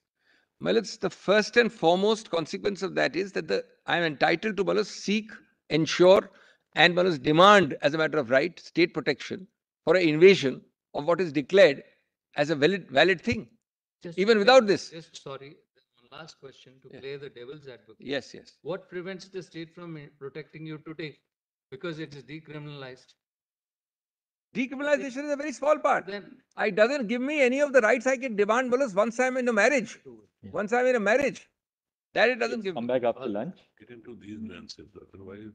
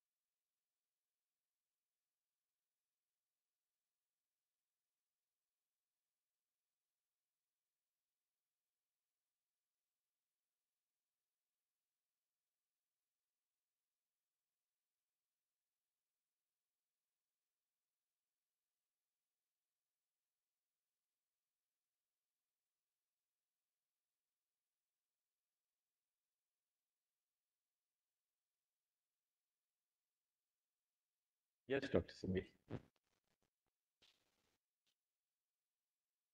So, Malas, I will first deal with the larger constitutional facets on non-discrimination, dignity, and free speech. And then I will give a lot of very interesting Malas, development on the approach to interpretation to make things constitutional compliant in this country and in England, Malas, to make them treaty compliant.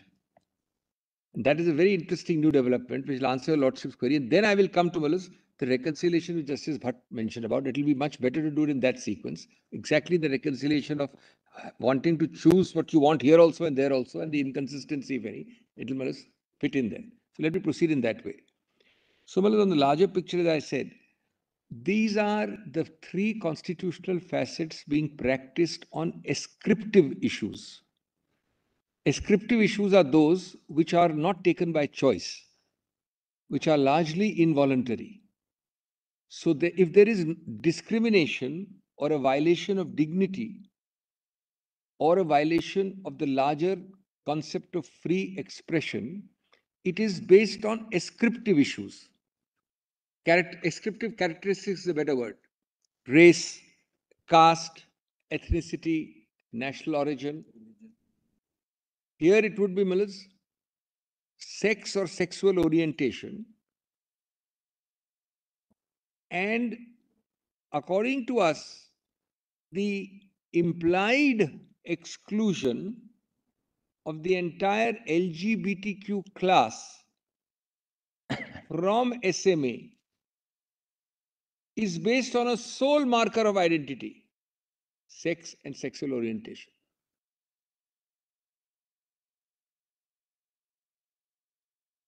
So, the conceptual point is that the implied exclusion, because according to there's no exclusion explicitly, the implied exclusion of LGBT class is based on a sole ascriptive characteristic, namely sex or sexual orientation as a marker of identity, as it could be, for example, origin or race, etc., which is not an issue here.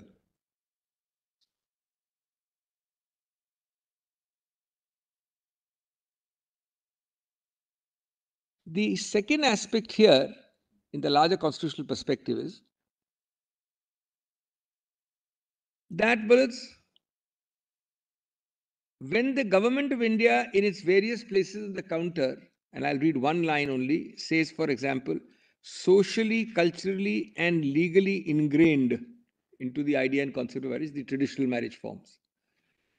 Well, it fails to really address that the SMA was created by your lordship, by your lordship, I mean by the legislature, as an alternative to what you might call socially, culturally, legally ingrained concepts of marriage. The very creation of SMA was that. To include what might be called, and I use a loose phrase, not quite right to use it, but that's the real way to use it unpopular marriages, interfaith marriages, socially sanctioned marriages, directly or indirectly. Unless you had them in mind the socially sanctioned marriages in a negative sense, why would you create a SMA?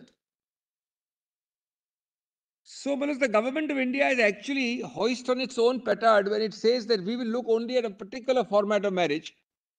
But you have got Manas SMA for decades.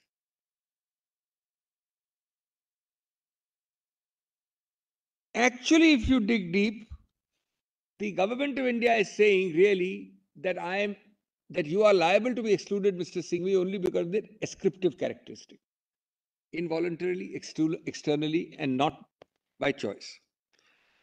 Now, Malas, there is this phrase, hoist on your own petard, which Malas applies in a very delightful way here. Because what does the government here say? It says marriage is a vital institution, we must protect it. Then they say, we've got all the extracts from the counter. It is something which lies at the heart of society, and your lordship is really attacking the base of society. If being asked even to read in different forms of marriage, etc., etc. Well, it's why I use the word hoist on petard.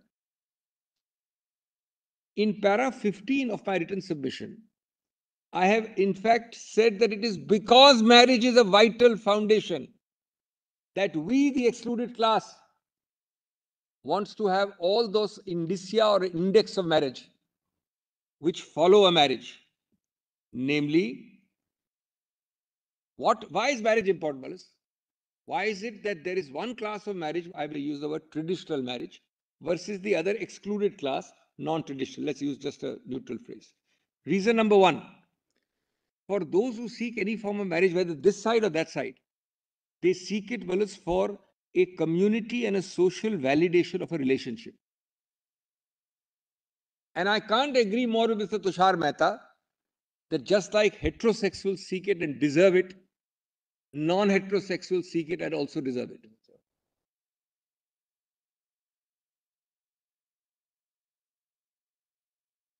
Number two, marriage is vital and important because of a sense of security it provides. Two couples. Of course, it applies much more to vulnerable couples, which your lordship is already protecting under SMA. And this is another set of vulnerable couples this side.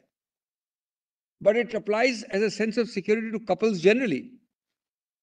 And why should there be an exclusion of one set of couples for that as opposed to another set? So Alan is absolutely right. It's because of the importance of the institution of marriage that we wanted to apply across the board, across this table, not that it stops in between this table. Third, it provides well as greater financial support oblique security. And not one of these, if it applies to heterosexual couples, should not Willis travel on to the non-heterosexual class. Not one of these. Based on an ascriptive disqualification. Number four, which I must put in a chart now. I made an appendix, which you will find useful. What my Lord put as consequences. That's the fourth point. It's a gateway to those consequences. I mean, obviously, I don't marry because I want a tax benefit. I mean, some people do, but some people do. But well, uh, normally, I mean, you would not be. But well, it is a gateway to 10 important things there. People even separate to get tax benefit. Yes, What I was going to say. that actually is more likely, Willis. Very That is common. More likely, or pretend to separate as the case may be. Mm. But Willis, uh, those gateways are tax, inheritance, adoption. Take, Willis, most important is adoption. Your lordships has in this court, Willis, well before we started talking about well, descriptive cases like this, many years or decades, several colleagues of ours, who may be single persons who have adopted. We know it, Willis. We have been in the bar. Your lordship has been in the bar. Incidentally, even if a couple is in a is in a gay relationship or a lesbian relationship, one of them can still adopt. No, no, Willis, more. So uh, the whole argument that you know this will create a sort of uh, a psychological impact on the child With great is belied by the fact that even today, on the state of the law as it stands, grateful. once you have decriminalized homosexuality, Absolutely. you have therefore it's open to people to live in uh, together, and you can one of you can adopt. It's Well, just that you know the child loses the benefit of parenthood, so to speak, of of With, uh, with both the the. deepest respect, if your lordship were to look around practically on the ground, this is one of the most important reasons, which is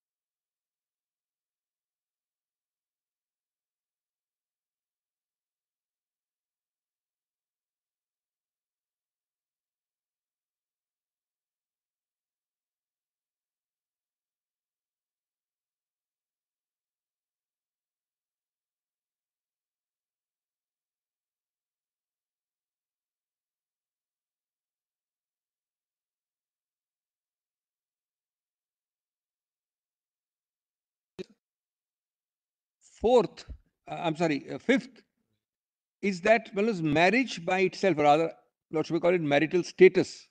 I'm sorry, I'm sorry. marital status is by itself, Balas, a source of dignity, fulfillment, and self-respect. These are not mere adjectives, Balas, this is a real life, real world. It does happen, Balas. It is actually happening, it is vital. And a lot of people are acting for that basis. It's a source of dignity, fulfillment, and self-respect as a core member of society.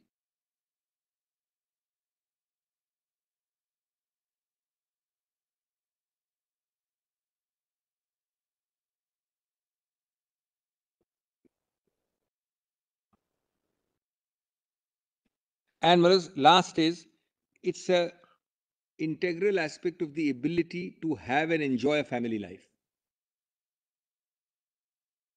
To have and enjoy a family life. With the other indicia we have talked about.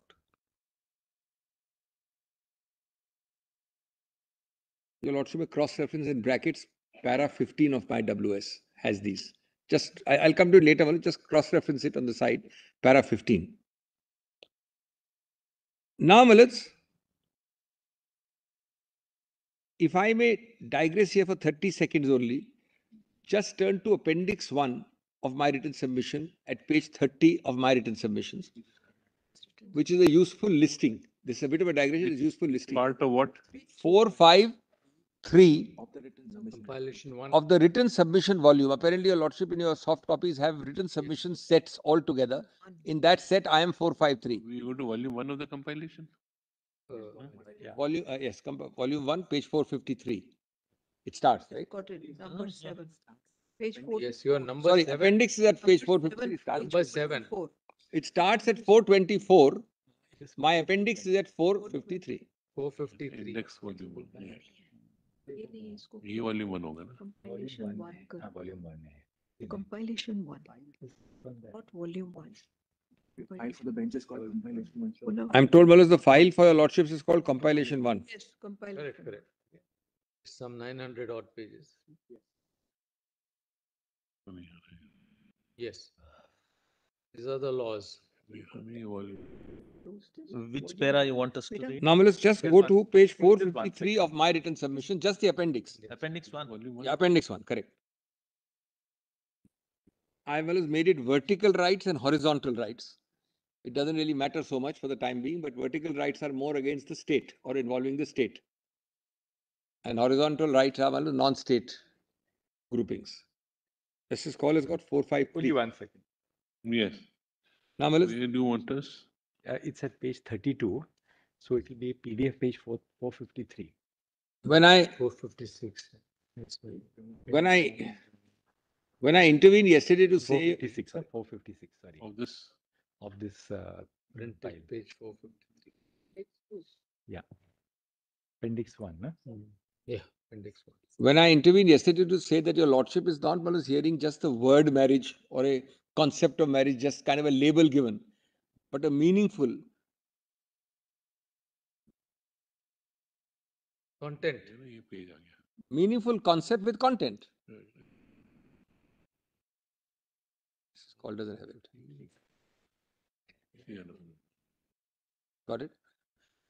When I said yesterday, Malas, that your lordship is not dealing with an abstract concept of marriage as a label to be put on my head without content, without meaningful Malas, uh, consequence, this is the meaning. One category I've given five, six points in my para 15. I just gave it to your lordship orally, which is the more societal aspect. These are the more concrete aspects.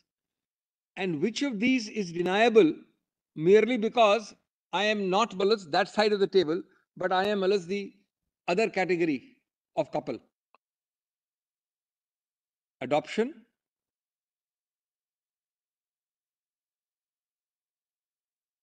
surrogacy, intestate succession, tax exemption, tax deductions. It simply requires marriage, that's all. Compassionate government appointments. And this is of course only illustrative. I don't claim it to be exhaustive. This is illustrative, but this is a useful list. We are not talking of anything else, only marriage is required. Everything else follows. Compensation to dependents, appointment of nominee for receipt of post-retirement benefits. Privilege is an interesting one, Malus. Spousal communication, 123 is now, Malus, largely forgotten. 122, I'm sorry. Right to bodily remains, and so on and so forth. There is the next page, which is the horizontal set. which are more, Malad's uh, daily incidents of harassment, if I may use that phrase. There's one in- interesting, one question here. We Yes. Talk of, for instance, insurance. Now, the insurance law per se, do we have the? any That is item one in the horizontal side. Yes, Number one. yes, Family insurance. yes. Medic, medical also, I assume. Renting homes, opening these, bank uh, accounts. Are, these are subject to regulations. Yes. So IRDA, do we have IRDA regulations or these are just, these are standard policies which are approved? Ah, I have not given a lordship the individuated thing. They would originate from an IRDL requirement, but they will be all in all the policies.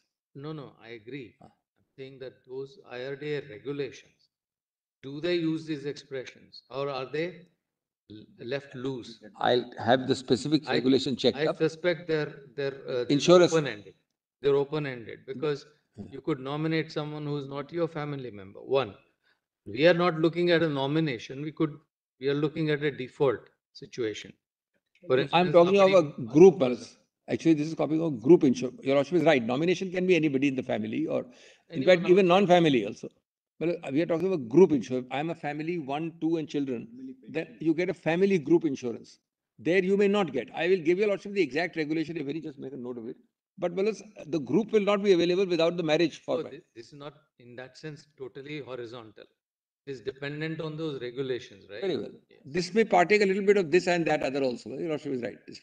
But Manas, I have a Likewise- feeling that Likewise, you see, you come to joint ba- ba- bank accounts, you have the banking regulations. maybe some So- RBI regulations, so maybe. They will also have these regulations or, or laws. But my, my lord is right. What is- I mean, that could be a overlap, but You're my po- looking at two steps beyond that.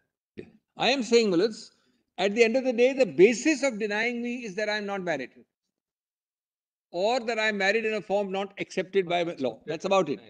That, that's the bottom, bottom line. But please give me also the insurance and the You other thing see, also. the point is, Yes, there are certain things which can be perhaps done straight away yes. without entering the other arenas. If that Yes. those are perhaps segregable. This is a, you know, open thought that if there is no prohibition or provision in the parent enactment, it becomes that much easier. Well, my lord is right. That may require a more detailed nitty-gritty segregation. My lord is right. For example, policies have it or not, but I will do that to the extent we can. My learned friends will help us, Malas, to give us. But just the rec- recognition of marital status will be a very, very great advance in any case. That's the first point. May I just answer that? Insurance. Principle that is applied is just that of marriage. Now, how my lords defines marriage will address those concerns immediately. So any bank, there is no specific RBI guideline on who can. The assumption there is if you are spouses, you can have that joint bank account. Similarly for insurance as See, well. uh, see, this is where, you know, there is, this is where this, uh, Ms. Guruswamy, if you go back to some of the older case, Yes, if you remember that consumer, Make note of both. LIC, Bank, yes, my lord. insurance. the court actually gave a direction, nineteen ninety-five, Justice Ramaswamy's judgment. So there are certain things which can be done straight away without much, you know, barrier, you know, Yes, my lord. without having to overcome barriers. So that is what you have to identify and tell us. We'll add that. We'll add that. What my lord is saying is there may be something which may have no barrier at all. In, in this, my lord, I suspect that the moment the court opens up the definition of marriage, those concerns are addressed because routinely insurance companies and banks have only this concern. You have to be married. Married, that's- Spousal, that's all. And that will be. But that's the baseline, Manas. In any case, that baseline is there. Because they probably. Whatever additional your lordship has is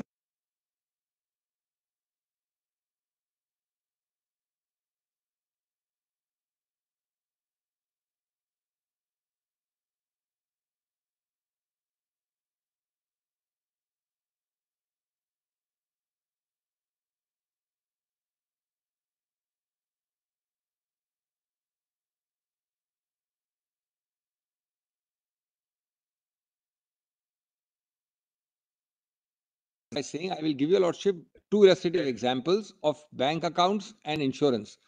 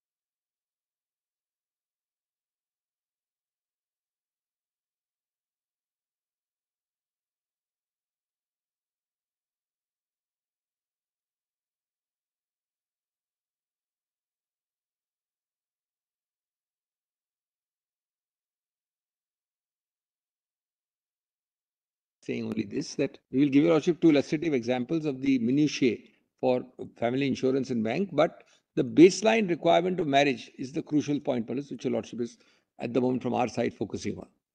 Now, lords, of these three headings, the most important is discriminatory exclusion in the constitutional context, the first one. Discriminatory exclusion of this class on only sex and sexual orientation.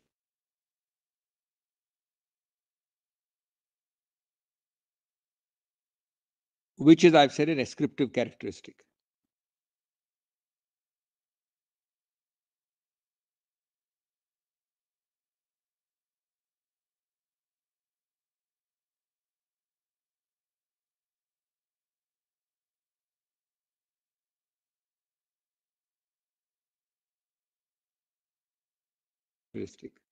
Now, whereas uh, Navtej has been read in great detail. I have taken notes for us and instructed also to say that three paras have not been read, and I'll only want those three paras to be underlined. Very be sure. huh?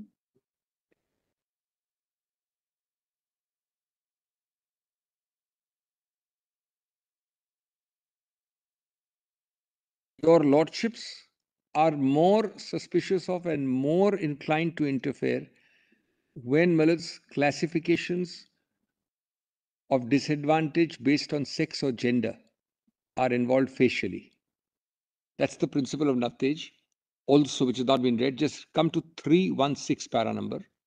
Firstly, at page 9, uh, well, as at page 165 of the SCC, 947 of your Lordship's PDF. Volume 1 PDF, your Lordship is marked Navtej in great detail. 947, para 316. Well, as amongst ascriptive conditions, where the ascriptive condition,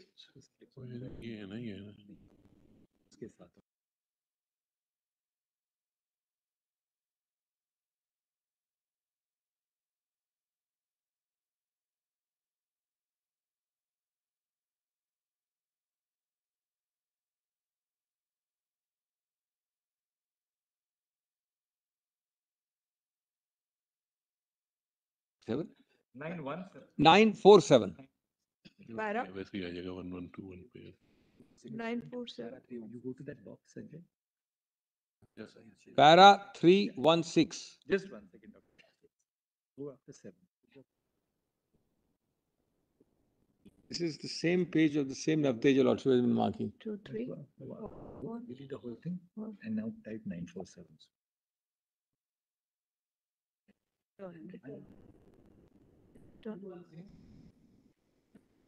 316. 316. Even amongst ascript, even amongst ascriptive conditions, your lo- 947 para 316. 978, sorry, it's, uh, PDF is 978. That's a PDF page, Not both you to give the one they are using. You give me not both, give me what they are using. Mm. 978. Return. Return. Yeah. Yeah. So, well, even amongst ascriptive conditions, your lordship will look more uh, suspiciously at those based on gender and sex. Just come to 316. The learned judges then went on to further hold that the standard of judicial scrutiny. Now we are on the standard of judicial scrutiny, on the approach which on their face effect discrimination is as follows. It is borne in mind that legislation pronounced protective discrimination aims such as this one potentially serve as double-edged swords. I read the italicized portion, Mullahs. Legislation should not only be assessed on its proposed aims, but rather on the implications of the effects. The impugned legislation suffers from incurable fixations of stereotype, morality, and conception of sexual role. The perspective thus arrived at is outmoded in content and stifling in means. Now, I'm interested in the next parameters. No law in its ultimate effect should end up perpetuating the oppression of women. Personal freedom is a fundamental tenet which cannot be compromised in the name of expediency unless there is compelling state purpose. Heightened, this is the last sentence, heightened level of security is the normative threshold for judicial review in uh, scrutiny in, in, in such cases. And then, Malads, which is one zero seven nine, the correct page for them. Triple one zero, page number, para six thirty-seven point three. PDF pages triple one zero.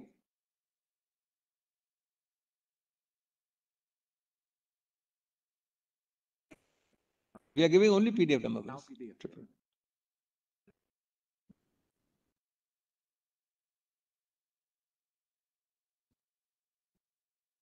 Well, it's the whole para is important, but to save time, I won't read the whole.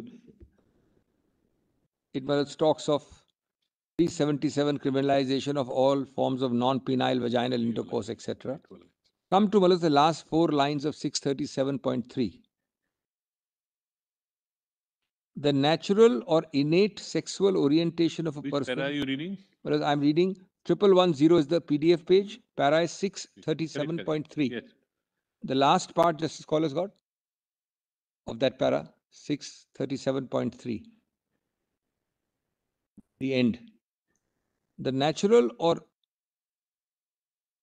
innate sexual orientation of a person cannot be a ground for discrimination, where a legislation discriminates on the basis of an intrinsic and This core Justice- trait. This is Justice Ma- Indu Malhotra. I beg pardon? Yes, Justice Malhotra, that's correct. I'm sorry. Uh, that's the ascriptive. The word ascriptive is not used exactly ascriptive. Yes, yes. Core trait of an individual cannot form a reasonable classification based on individual uh, intelligible differentia. Then one para after next, next page, point five. A person's sexual orientation is intrinsic to their being. It is connected with their individuality and identity. A classification which discriminates between persons on their innate nature, that's ascriptive. That's the meaning of ascriptive. Would be violative of their fundamental rights and cannot withstand the test of constitutional morality.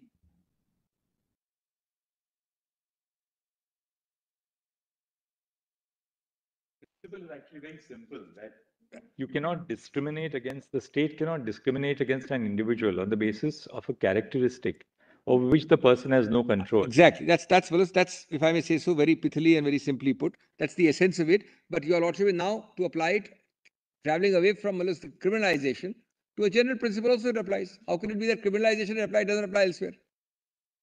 Then, Manas, And when you say that, you know, this is an innate characteristic, it's also an argument in response to the contention that this is very, you know, elitist or it's urban or it has a certain class bias. It, one something which is innate can't have a class as a, bias. as a matter of fact, can never be Manas a bias because it's It not in mean- any form acquired.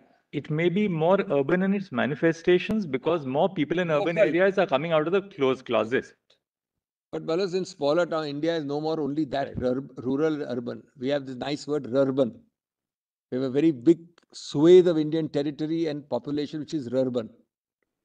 And Anyway, there's no data, no data is no data coming out by the government to indicate that this is urban or anything like that. Nothing. Nothing, No data at all. Just an episode. Ms. Represents. One of the points we are making is that every government in the counter is without the single survey, single data, single Wallace test. Not one. I've made that point, Wallace, repeatedly in my written submissions. Since we talk of here and both innate and autonomy to choose. Whether You may be having data.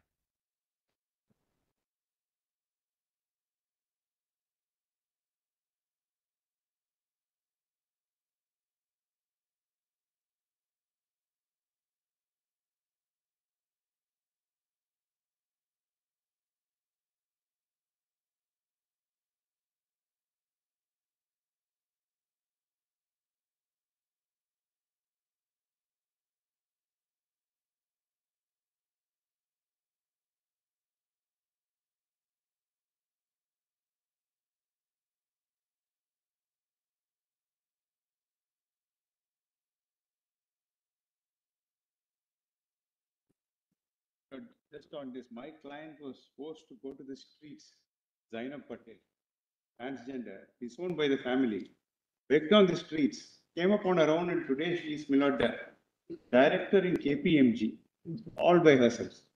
Be branded urban elitist Milord is, uh, shows absolute lack of grace, Milord. Union should have shown a little more grace in the count.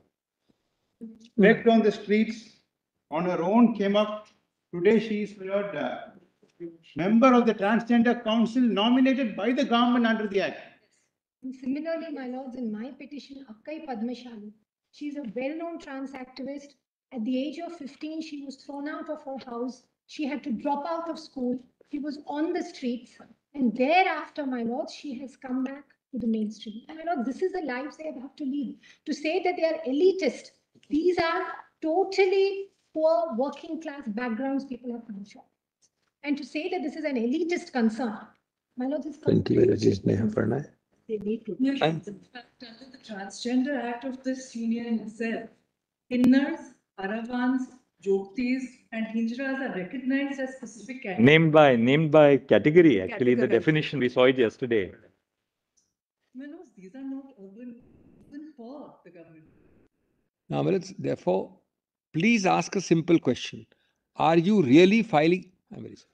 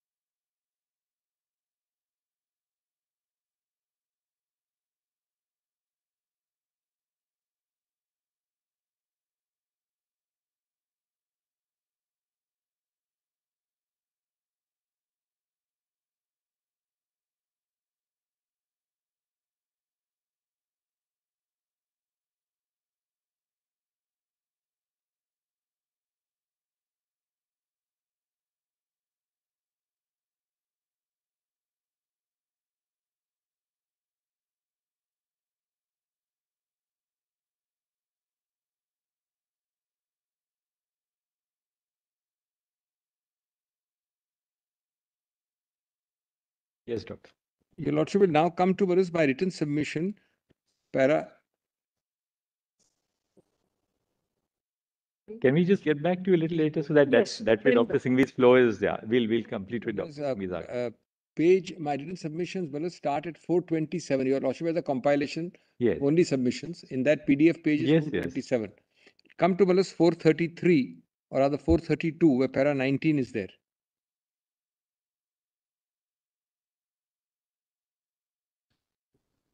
Para nineteen,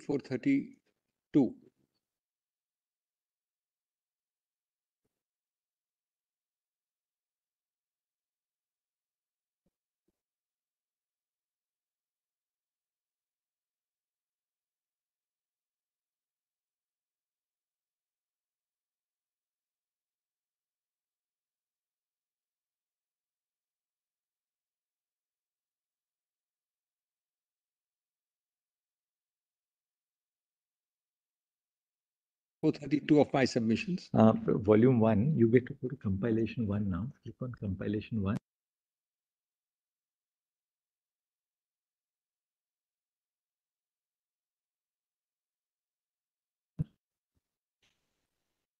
Four twenty-nine, just click on the, just click on the last. Four sixty with a high. We- we have to- 429 okay, You can just scroll down, so it'll take a second.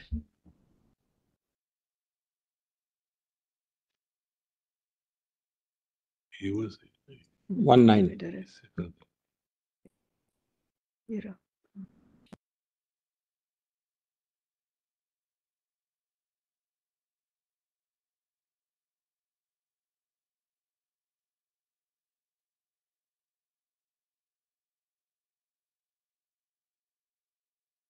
Uh, In any event, the sub- uh, petitioners submit that the exclusion fails the test of 14. While there does exist an intelligible differentia, which is sexual orientation, it cannot possibly have any rational nexus. Now come to 20. First, it is important to reiterate that in its origin and evolution, SMA is an avowedly secular law which was meant to serve as an alternative for individuals who could not or did not want to solemnize marriages under applicable personal religious law. My lord is so said in para 15 and 19 of that judgment, Neha. Now, this SOR is important. As per the SOR of the SMA, the act was passed to quote, provide a special form of marriage which can be taken advantage of by any person in India and by all Indian nationals in foreign countries, irrespective of the faith which either party to the marriage may profess. Consequently, and I'm not concerned with Hindu Marriage Act, I wish them well good luck. They have several other important points on their side. I'm not well treading on their path, but I'm just saying, in contrast to the HMA, where the conditions must comply with Hindu religion, the SMA is an irreligious or non-religious marriage related legislation. This addresses a point that the respondent repeatedly makes in its counter affidavit. What is this main point, Wallace? Cultural understanding of marriage as a union. Cultural understanding of marriage was not the basis of the SMA. So what Now- you're saying is that the SMA was basically intended to be agnostic to faith. Exactly. So by reading it as agnostic to sexual orientation, you're not making a leap of faith. Leap of faith, on the same, grateful. That's a pithy summary. What is Balas also religion is very heavily imbued with culture. If it is, as Rashi puts it, agnostic to faith, it is also largely agnostic to cultural situations. It cannot be divorced. Secondly, Malas, just pause here for a minute before I go to the later part. Broadly, the government of India is saying what? I mean, look at with great respect to the kind of stand. Stand one, cultural ethos, we've dealt with. Stand two, which I am very strongly supporting, marriage is a vital institution. I say so, I give in my para 15 those six reasons, and in my appendix the several important secular consequences. Third reason, that well as uh, it will impact personal law, which your lordship has now put on a separate side. Now, the fourth reason is important and interesting. It is what is known as self-referential or self-validating statements. What is self-reference? What they are saying is, since I, the government of India, have defined marriage as a union between man and woman, therefore by definition you are wrong and illegal. Well, this your lordship has said, is an example of self-validating reasoning or self-referential reasoning. In Muller's constitutional terms, it Muller's actually equates classification with legislative purpose in Article 14 terms. I just, it conflates the two. Where have you formulated so we can read it and then uh, Yes. you can make your submission? Well, this is 22 and 23. Let's just read that. 22. Secondly, the respondent cannot argue, as it does in para 23, his counter para 23, that it has simply defined marriage as a union between a man and a woman, and that constitutes legislative policy. That would be circular and self-referential reasoning, which does nothing more than, this is important, equate the classification with the purpose. This obviously cannot be a valid defense to an Article 14 challenge, as in effect, any legislative classification can pass Article 14 scrutiny by the state simply declaring that the classification itself is the purpose. Give me, a- let us see an example, Manoj. As an example, one can imagine the state announcing a welfare benefit that it then declares off limits for blue eyed people. On being challenged, the state simply says, on being challenged, the state simply says that it has defined the welfare benefit as one that all persons except blue eyed people are eligible for. And that the legislative purpose is to exclude blue eyed people from accessing. It is submitted, this is self referential to decide whether exclusion of blue eyed is valid or not, not that I say that blue eyed are out.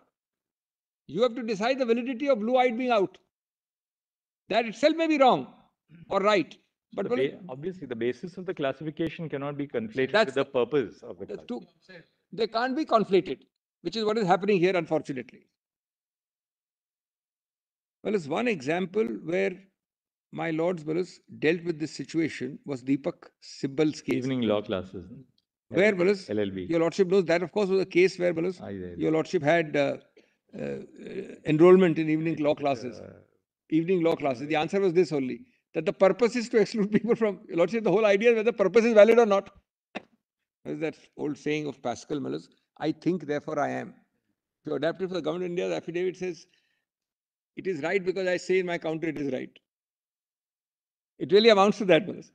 Now let us kindly see, Deepak Sibal, state sought to justify legislative classification limiting enrollment in evening law classes to government employees by deploying the self-referential reasoning that the purpose was to provide legal education to only government employees. In effect, equating the classification with the purpose, your lordship struck it down in paras 18 to 20 as well as illogical and well as not sustainable.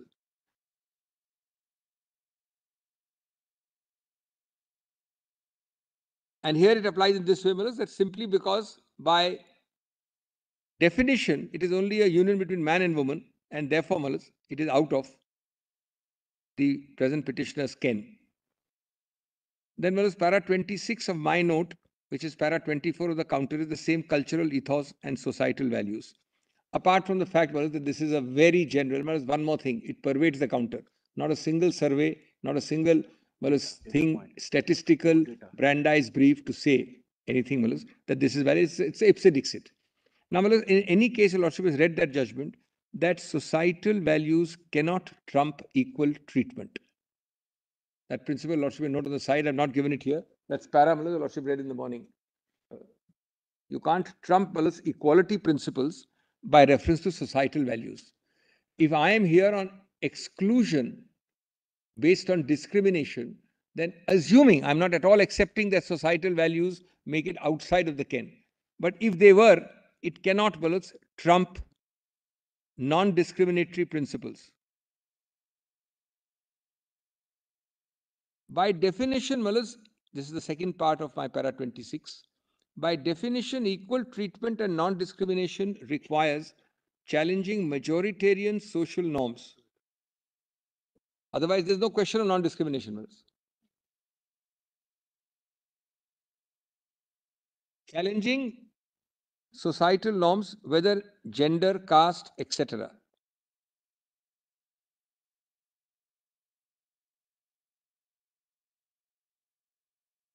Whereas if your lordship excludes all this, then the only basis for this sexual orientation test will be animus. It's a very important point. I'll not take you to the case. I've quoted it in my para 27. Let me read that. Thirdly, this leaves the only remaining legislative purpose as animus against the community and the refusal to treat them as equal moral members of society by offering them the same range of benefits as opposite sex couples. It is clear that any such purpose needs only to be stated to be rejected. Legislative purpose itself cannot be discriminatory or unconstitutional. This is the s- s- the other ad- well, s- facet of the same point. The purpose cannot be discriminatory or well, as exclusionary. Now, the South African Constitutional Court said, well, the exclusion of same sex couples from the legal institution of marriage conveys a message of unequal moral concern or respect of the Constitution. They said so in these words the exclusion of same sex couples from the benefits and responsibilities of marriage, accordingly, is not a small and tangential inconvenience resulting from a few surviving relics of societal prejudice destined to evaporate like the morning dew. It represents harsh, if oblique, statement by the law that same sex couples are outsiders. It's the outlier which is exclusion, which is discrimination, which is Article 14, 15, and 16. It's the exclusion, the outlier.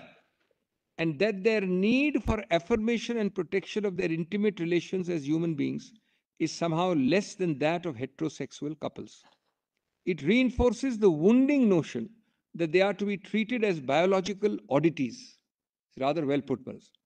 As failed or lapsed human beings who do not fit into normal society and as such do not qualify for the full moral concern and respect that our constitution seeks to secure for everyone.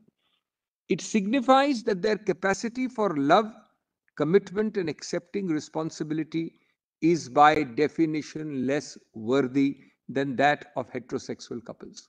Whereas if your lordship were to look for the philosophical underpinning, but I say also the core constitutional value underpinning, this is rather well put.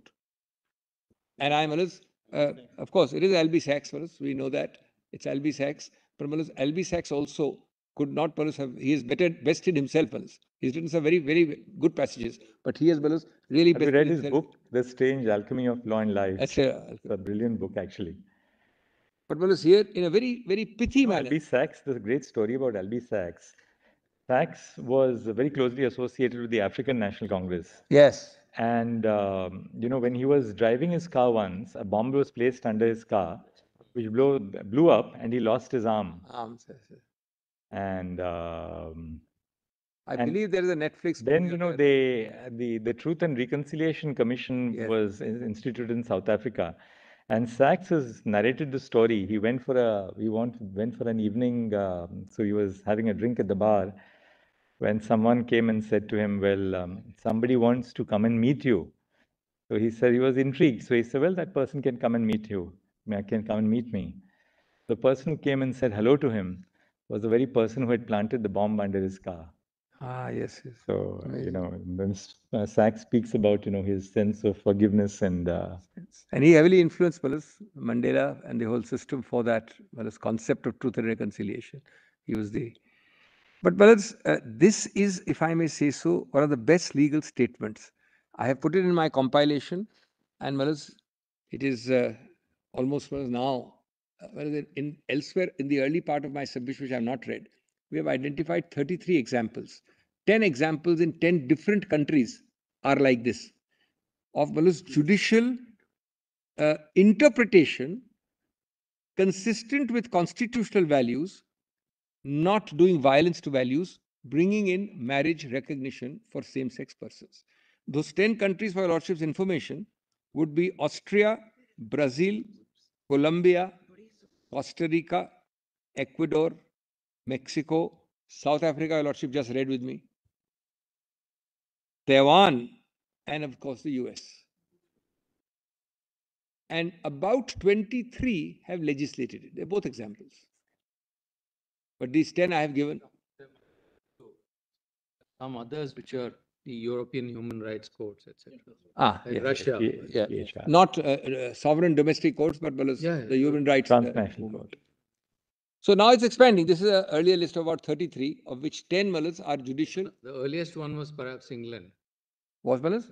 Uh, England, UK. Ah, yes, yes. England, uh, Yes, yes. So therefore, mullahs, and I'll be coming to a very interesting because England is believed to be much more timid, restricted, and circumscribed in its inter in the acrobatics which anybody can do in judicial review. I will give you Lordship an extraordinary article and uh, two cases. How far they've gone on interpretation.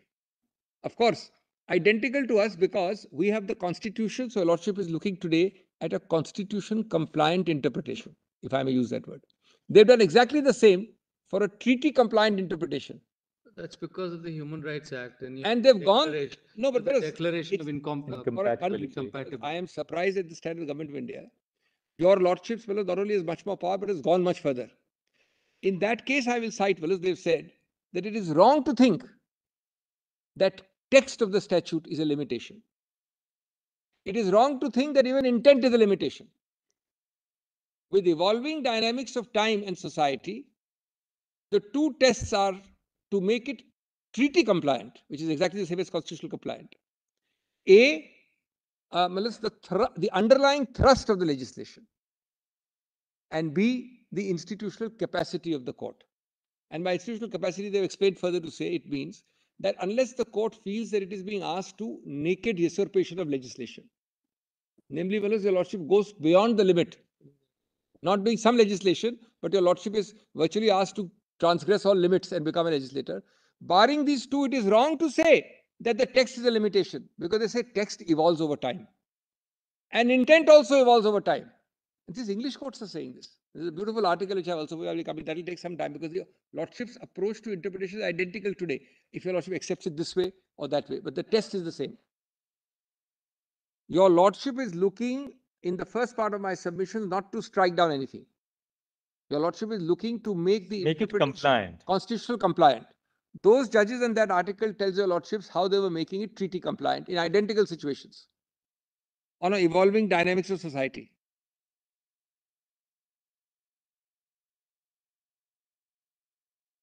Then, Malits, there is another facet, Malits, of manifestly arbitrary. Your Lordship knows Malits, Article 14 to just digress, for, it's important to digress for 30 seconds, Malits. Till Malits, Royappa, etc. I mean, broadly, there have been earlier cases, your Lordship had only Malus the discriminatory aspect. Then your Lordship got the arbitrary aspect, just developing nascently in Royappa. Then your Lordship carried that arbitrary aspect much further in Maneka, Ajay Hasia, and all those cases, Malas.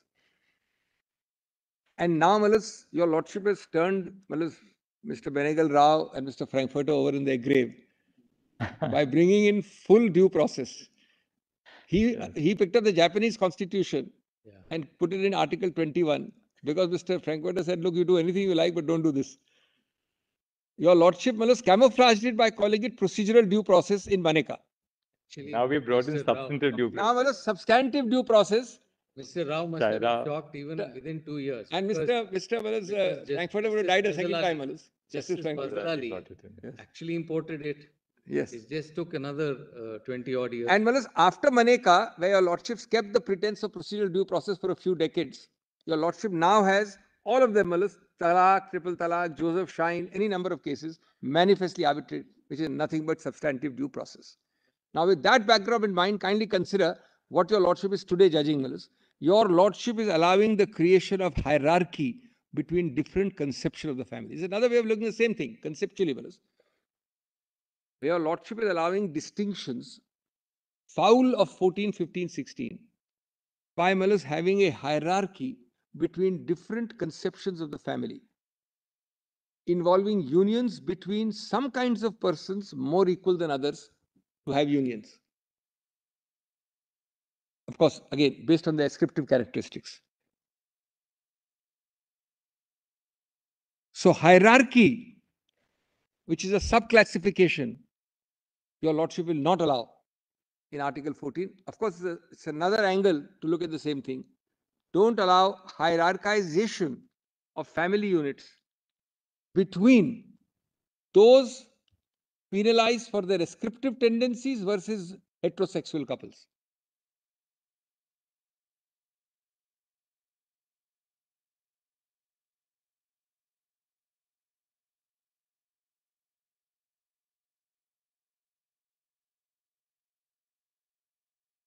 Yes. Your lordships brothers actually said this. Of course, not the ratio of the case, because my lords were dealing with with uh, a narrower issue about a mother with children from the first marriage. But your lordship's principle is clearly stated in my lord Justice Chandrachud as he then was in Deepika Malas, atypical family units. And the para is 26. Lordship may note that para. That was cited but not read. It was cited by Mr. Gita Rohit. Hariharan. Deep, Hariharan. No, Which Deep- one? Deep, Deepika- Deepika Malas, 22. That is Malas in your lordship's compilation Hmm. at at page 84 at 91. Just read that one para, Malas. My lord has put it very pithily. Atypical family units, referring to Malas uh, queer relationships, equally deserving. Kindly turn to that page, Malas, just for a minute. Para 26 is that page. Is it 60? Page 91 PDF. 91. Yes. Ah, volume one. Volume one, Sanjay. Volume one.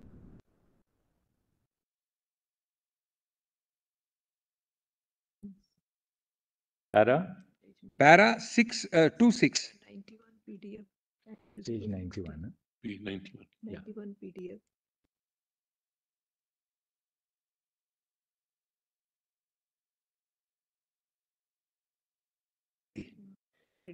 That's the hierarchization created wrongly, I say, Malas. Twenty. May I read? Yes. The predominant understanding of the concept of a family, both in the law and in society, is that it consists of a single, unchanging unit with mother and a father who remain constant over time. This is very important, Malas. This is meaning of conception is changing. This assumption, and their children, this assumption ignores both and the many circumstances which may lead to a change in one's familial structure. And the fact that many families do not conform to this expectation to begin with. Familial relationships may take the form of domestic, comma, unmarried partnerships or queer relationships. A household may be a single parent household for any number of reasons, including the death of a spouse, separation, or divorce. One.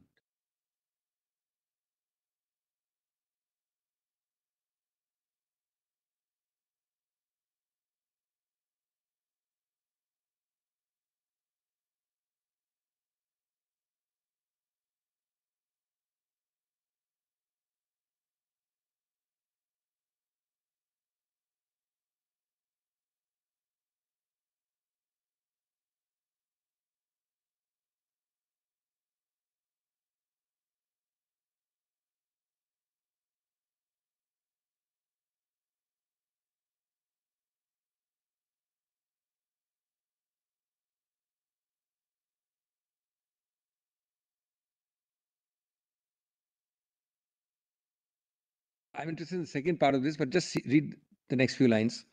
Uh, very pithily put. A household may be a single parent household for any number of reasons, including death. Similarly, the guardians and caretakers who traditionally occupy the roles of the mother and the father, inverted commas, of children may remain with may change with remarriage, comma, adoption or fostering. These manifestations, this is what I'm interested to read, in particular. These manifestations of love and of families may not be typical, but they are as real as their traditional counterparts.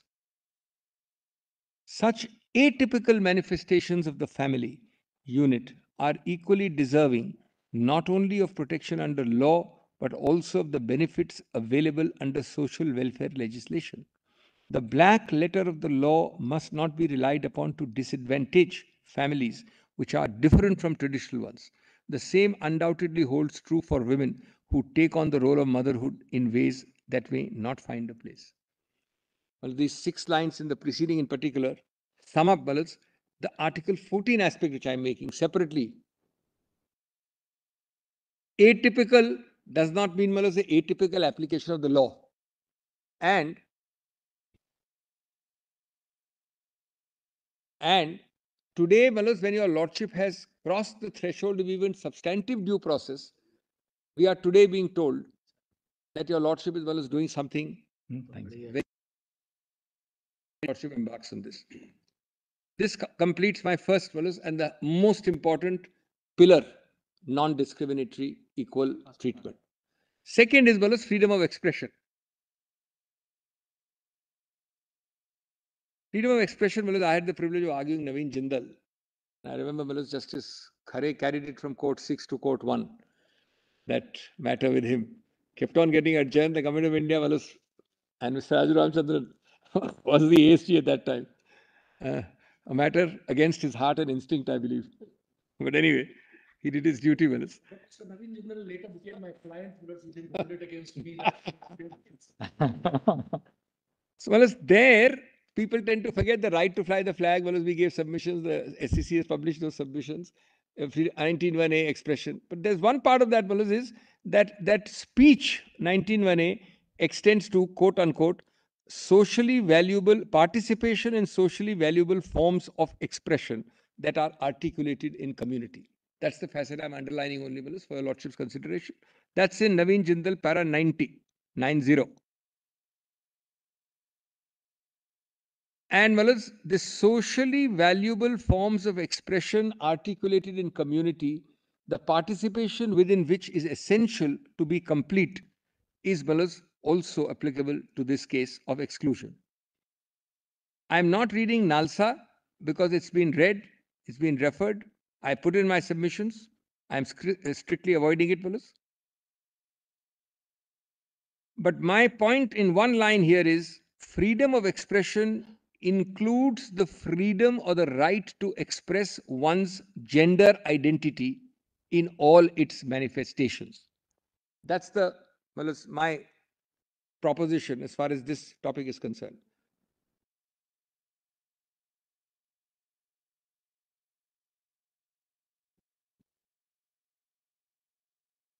Now, Mills, if you are in 191A, and I'll, it's a straight point of 191A, we don't need to spend time on 191A. This phrase is sufficient, these two phrases, Mills. Participation in socially valuable forms of expression in the community and freedom of expression includes the freedom to express one's gender identity. These are the two principles. The question arises under what part of 19.2 can you touch it? Which 19.2 have you shown to the court?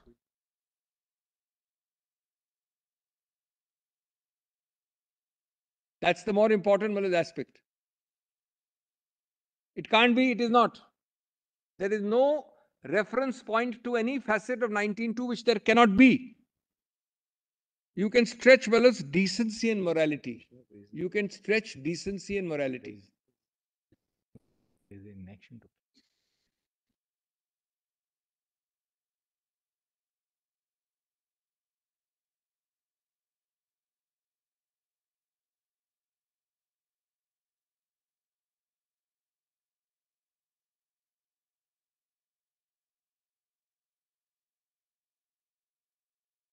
Down on nineteen two, there is no law which is a reasonable restriction. There is none- none. 14, 14, yes, 14, 15, whatever. But the silence of a law to be mm. construed as an ex.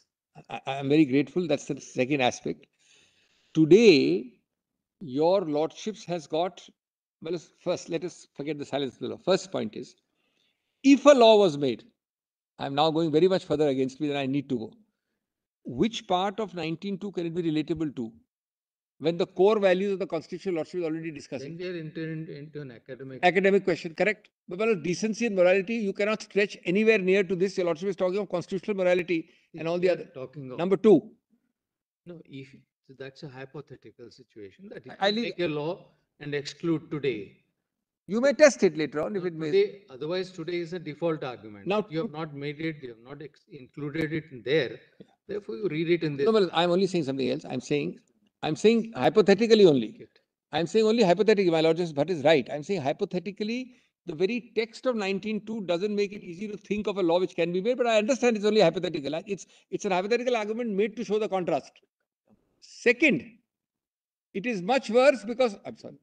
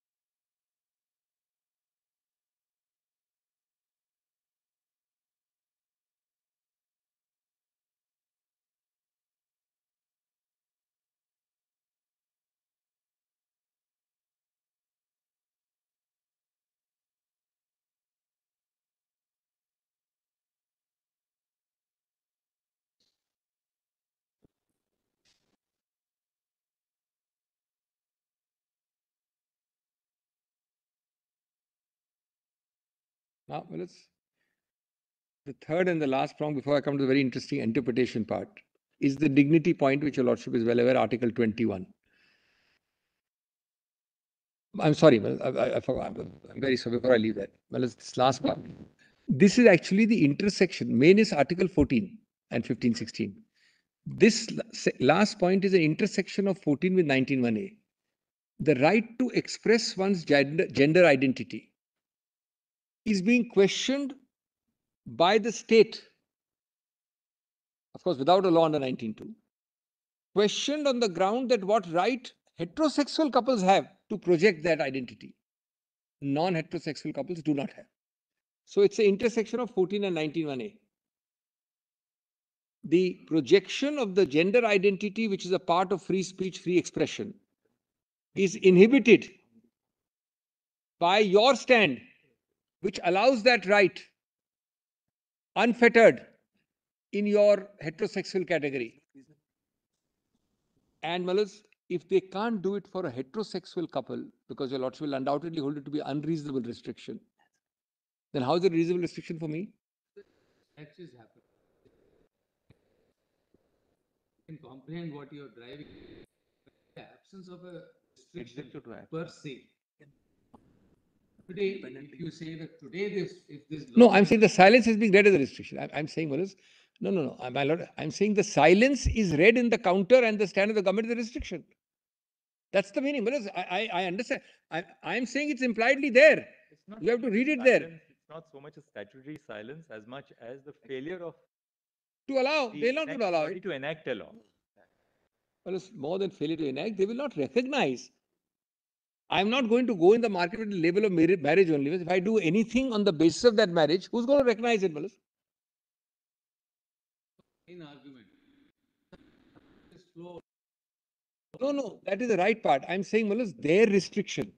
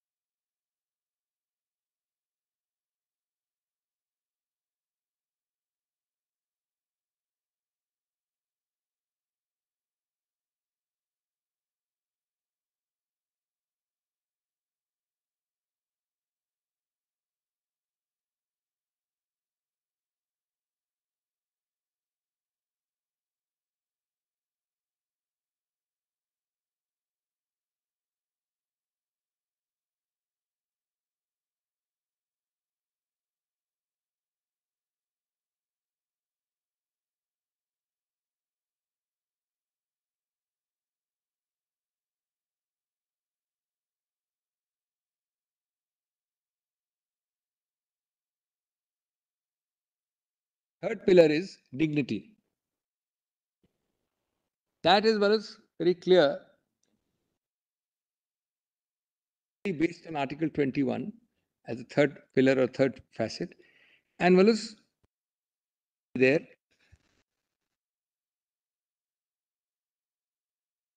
Everyone with equal concern and respect is the core of that dignity.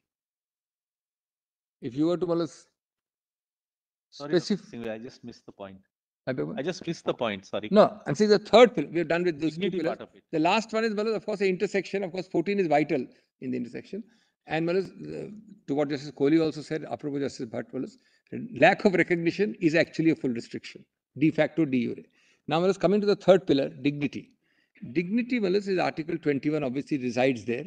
And your Lordship has put it, Malas, differently, but the best, simplest way of putting it is to treat everyone with equal concern and respect.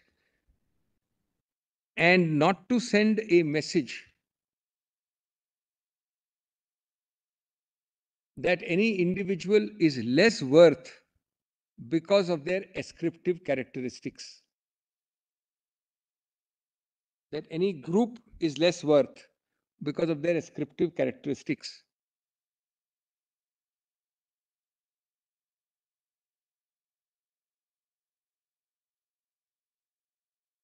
And with it comes the ability to participate on an equal footing in social values or constructs. That also is a part of dignity.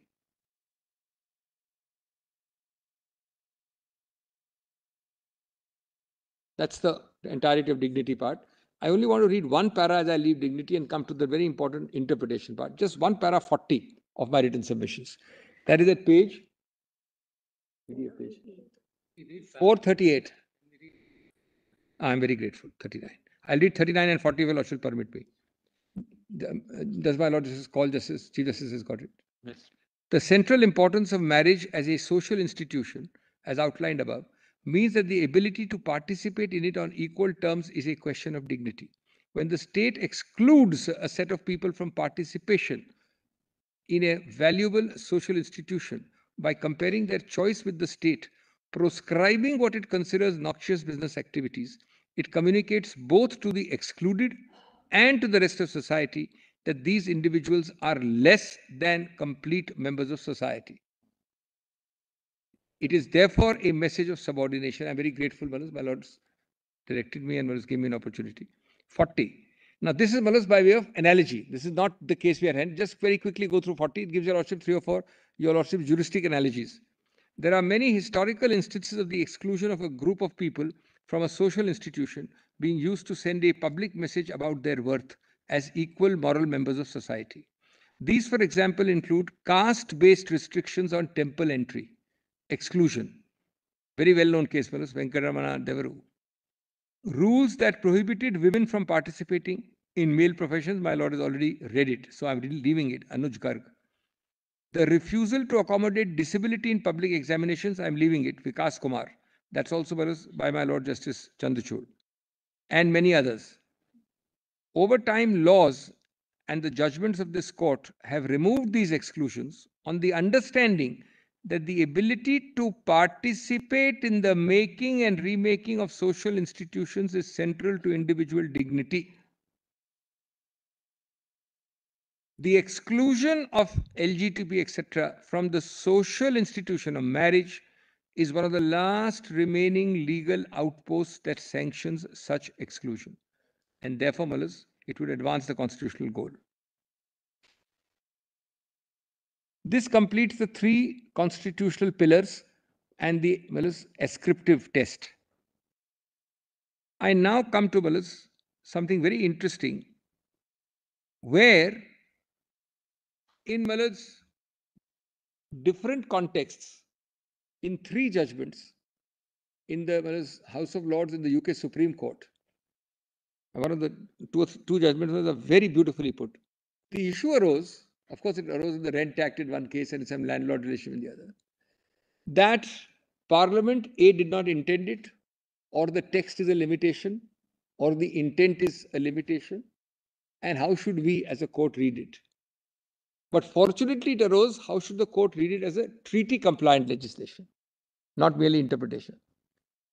In that, Manas, I'll read first one case, then Manas, a very, very well written article and then to the other two cases. That's follows going to be, I, I believe, follows very profitable and repay study. First, turn to the House of Lords, follows in a case called Ghaidan. Now, this is in volume 4, which is foreign judgments.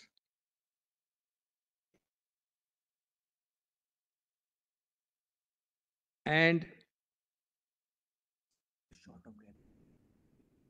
no, no, no. This interpretation part of it, you haven't uh, dealt in your written submissions, no? Which one? No, I have, I've not called it interpretation. I've called it remedies. But it's, well, your lordship will not understand it quite clearly unless I read the judgment. All right. I'll come back to it, but my lord is right. It is fully there under the heading uh, Remedies. b- remedies. But minus that brilliant article, Manas, which I have not been able to, I've got it ready in hand for giving a copy, but Manas, it's not in the, Two double seven. Two two double seven. in the yes, appendix. yes, in one, one, Manas. Consti, this is very i- important. May I, may I summarize it? Constitutional compliant interpretation of a statute.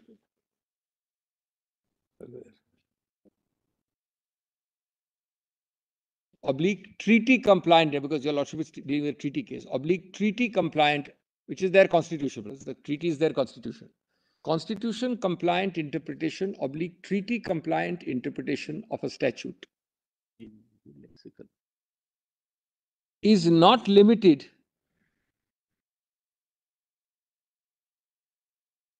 by that statutory text or the legislative intent.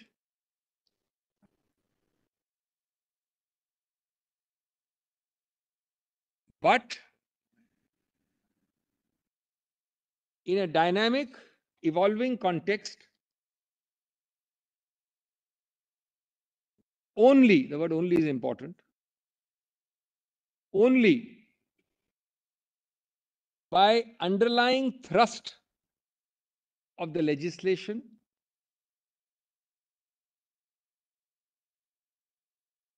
and by institutional capacity of the court. And institutional capacity is explained, Manas.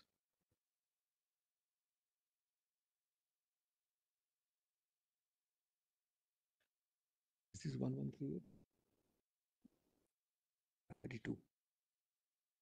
Ghaidan. I start with Ghaidan, which is para 32 at 1136 of your lordship's PDF of volume 4, which is foreign judgments. There are thirty-two. Give me one page. 1146. I'm sorry, I gave the wrong page.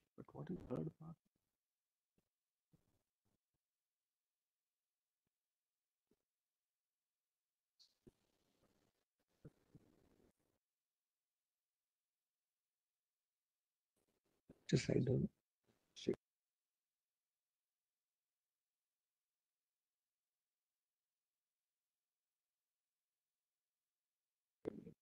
Page. What page? 1146 of foreign judgments, volume 4, Yes, what para are you referring? 32. One one four six. PDF. Oh, PDF, PDF. Is it para 32? My friend says it is 1146, para 32. Is one one four six is actually physical one one three eight. Three eight. Hmm, physical one one three. May I read? From this, the conclusion which seems inescapable is that the mere fact that the language under consideration is inconsistent with the convention compliant meaning does not of itself make a convention compliant interpretation under 3 impossible. Section 3 enables language to be interpreted restrictively or expansively. But section 3 goes further than this. Take out the page where section 3 is quoted. Take it out. It is also apt to require a court to read in words which change the meaning of the enacted legislation to make it convention compliant. Will my lord underline that? Was the lordship got that sentence? In other words, the intention of Parliament in enacting section 3 was to an extent bounded only by what is possible, a court can modify the meaning and hence the effect of primary and secondary legislation. Well, I've studied in England, I could not imagine these words coming from an English court. Malas.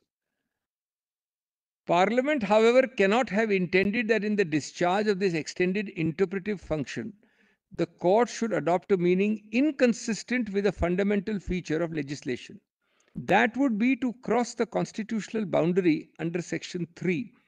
Uh, boundary, section 3 seeks to demarcate and preserve. So well, it's nicely balanced.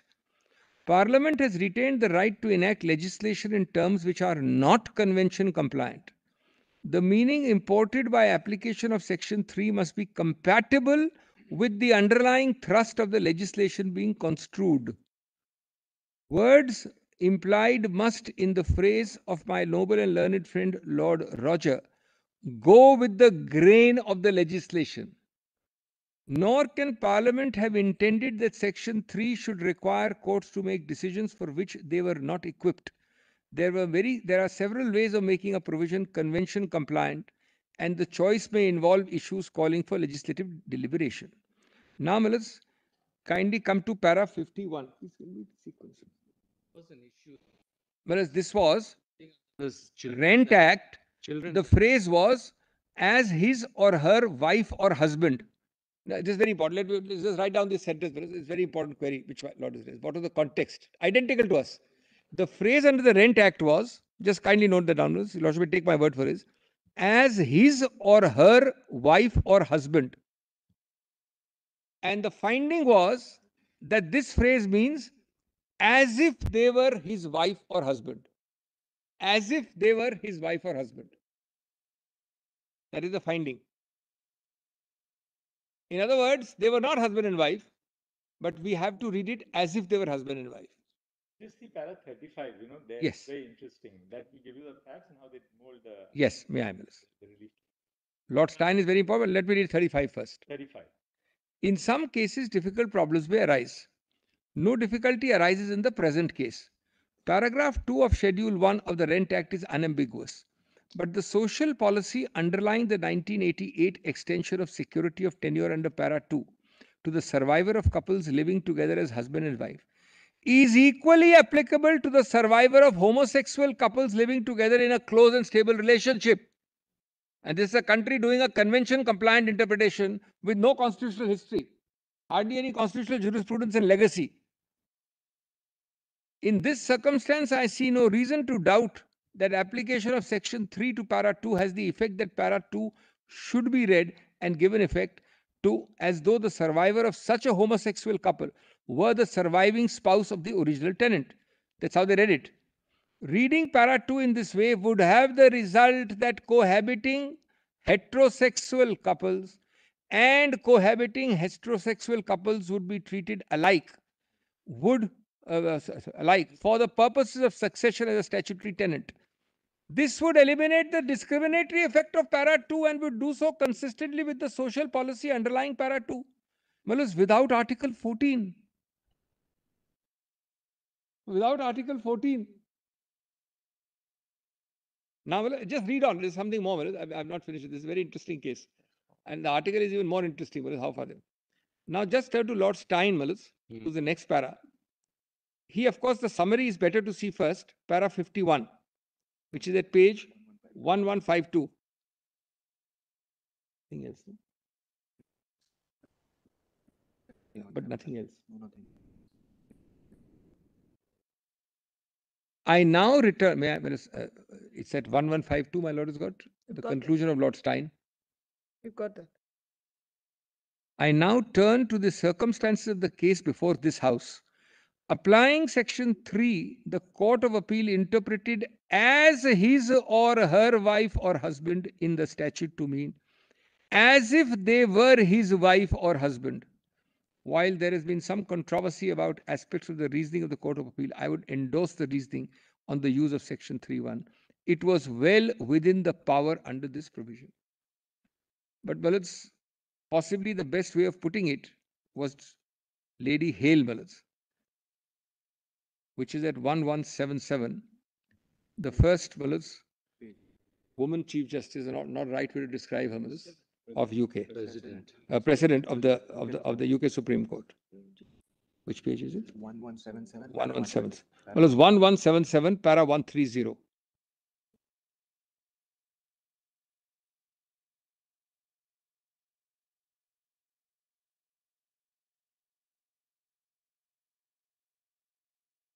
Seven, seven.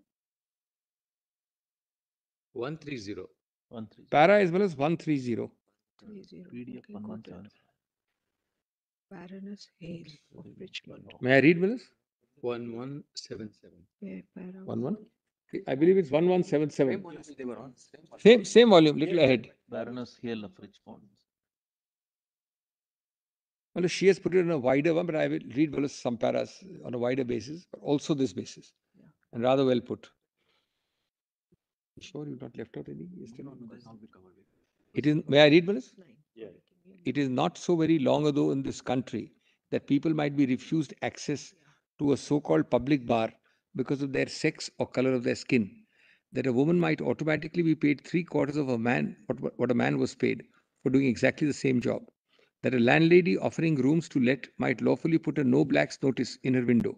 We must now realize that this was wrong. It was wrong because the sex or color of the person was simply irrelevant to the choice which was being made, to whether he or she would be a fit and proper person to have a drink with others in the bar, to how well she might do the job, to how good a tenant or lodger he might be.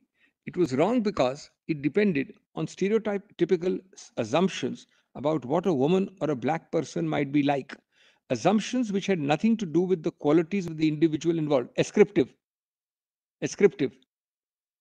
Even if there were any reason to believe that more women than men had bad customers, this was no justification for discriminating against all women. It was wrong because it was based on an irrelevant characteristic which the woman or the black did not choose and could do nothing about. Ascriptive. When this country legislated to ban both race and sex discrimination, there were, Malan, and we have here a Hindu prime minister and a Muslim Mullah's first secretary in the north of that country. First minister, first minister, which is the equivalent of the prime minister within the sovereign system. When this country legislated to ban both race and sex discrimination, there were some who thought such matters trivial, but of course they were not trivial to the per- per- per- people concerned. Still less trivial are the rights and freedoms set out in the European Convention. The state's duty under Article 14, now it is interesting that number is the same, to secure that those rights and freedoms are enjoyed without discrimination based on such suspect grounds is fundamental to the scheme of the convention as a whole. It would be a poor human rights instrument indeed if it obliged the state to respect the homes or private lives of one group of people, but not the homes or private lives of another. Such a guarantee of equal treatment is also essential to democracy. Democracy is founded on the principle that each individual has equal value. Treating some as automatically having less value than others not only causes pain and distress to that person, but also violates his or her dignity as a human being. The essence of the convention, as has been said often, is respect for human dignity and human freedom. See so and so. Second, second, such treatment is damaging to society as a whole.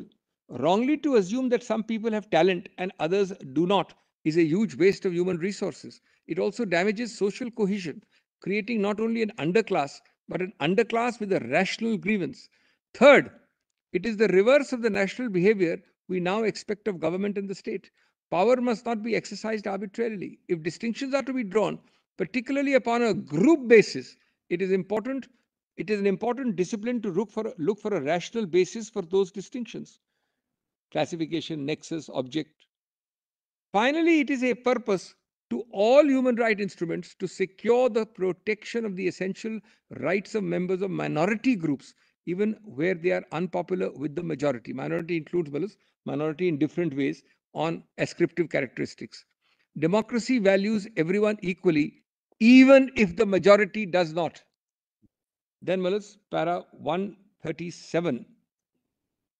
I hope we have not missed out anything, right? I think you may read one thirty-five also. 135. May I read? I'm grateful. It is common ground that one of the convention rights is engaged here. Everyone has the right to respect for their home. This does not mean that the state or anyone else has to supply everyone with a home. Nor does it mean that the state has to grant everyone a secure right to live in their home. But if it does grant that right to some, it must not withhold it from others in the same or an analogous situation. This is well as the heart of equality. There's no positive obligation says I must give you a house. It must grant that right equally unless the difference in treatment can be objectively justified. You're granting marriage to heterosexual couples. Give me a rational reason to deny it to this side of the table.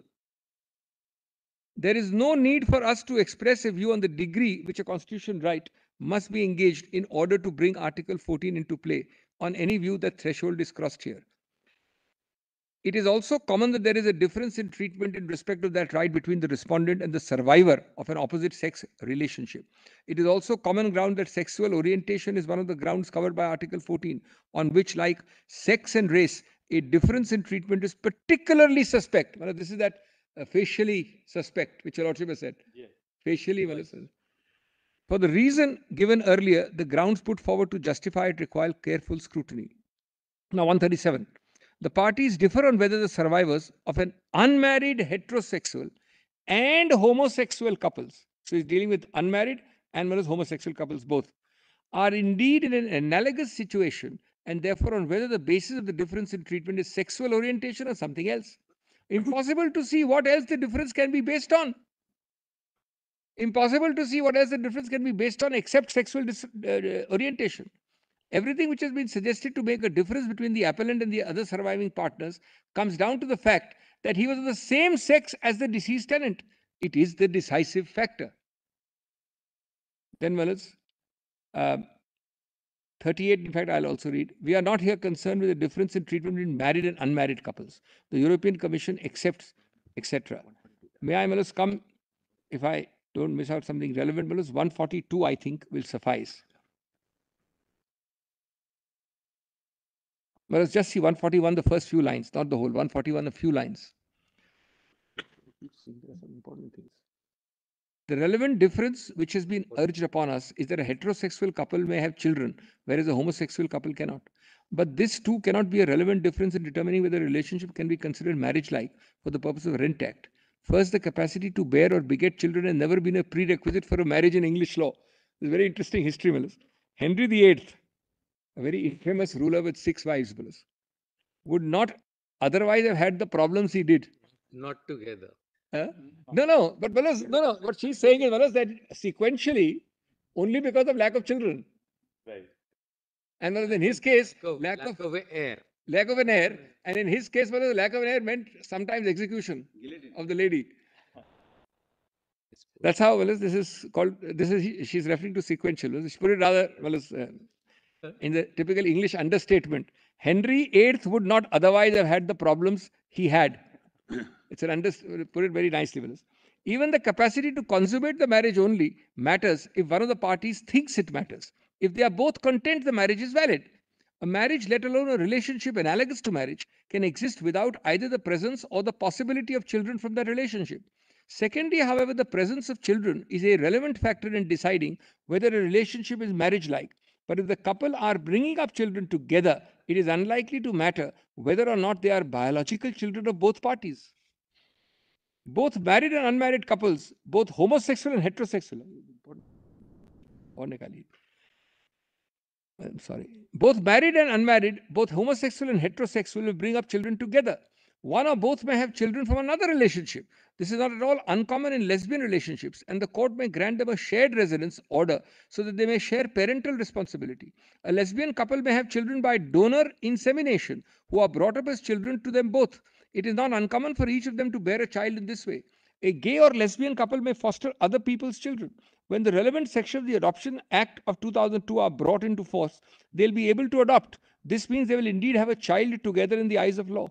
However, thirdly, however, there is thirdly, however, there is absolutely no reason to think that protection given by the Rent Act to the surviving partner's home was given for the sake of couples' children.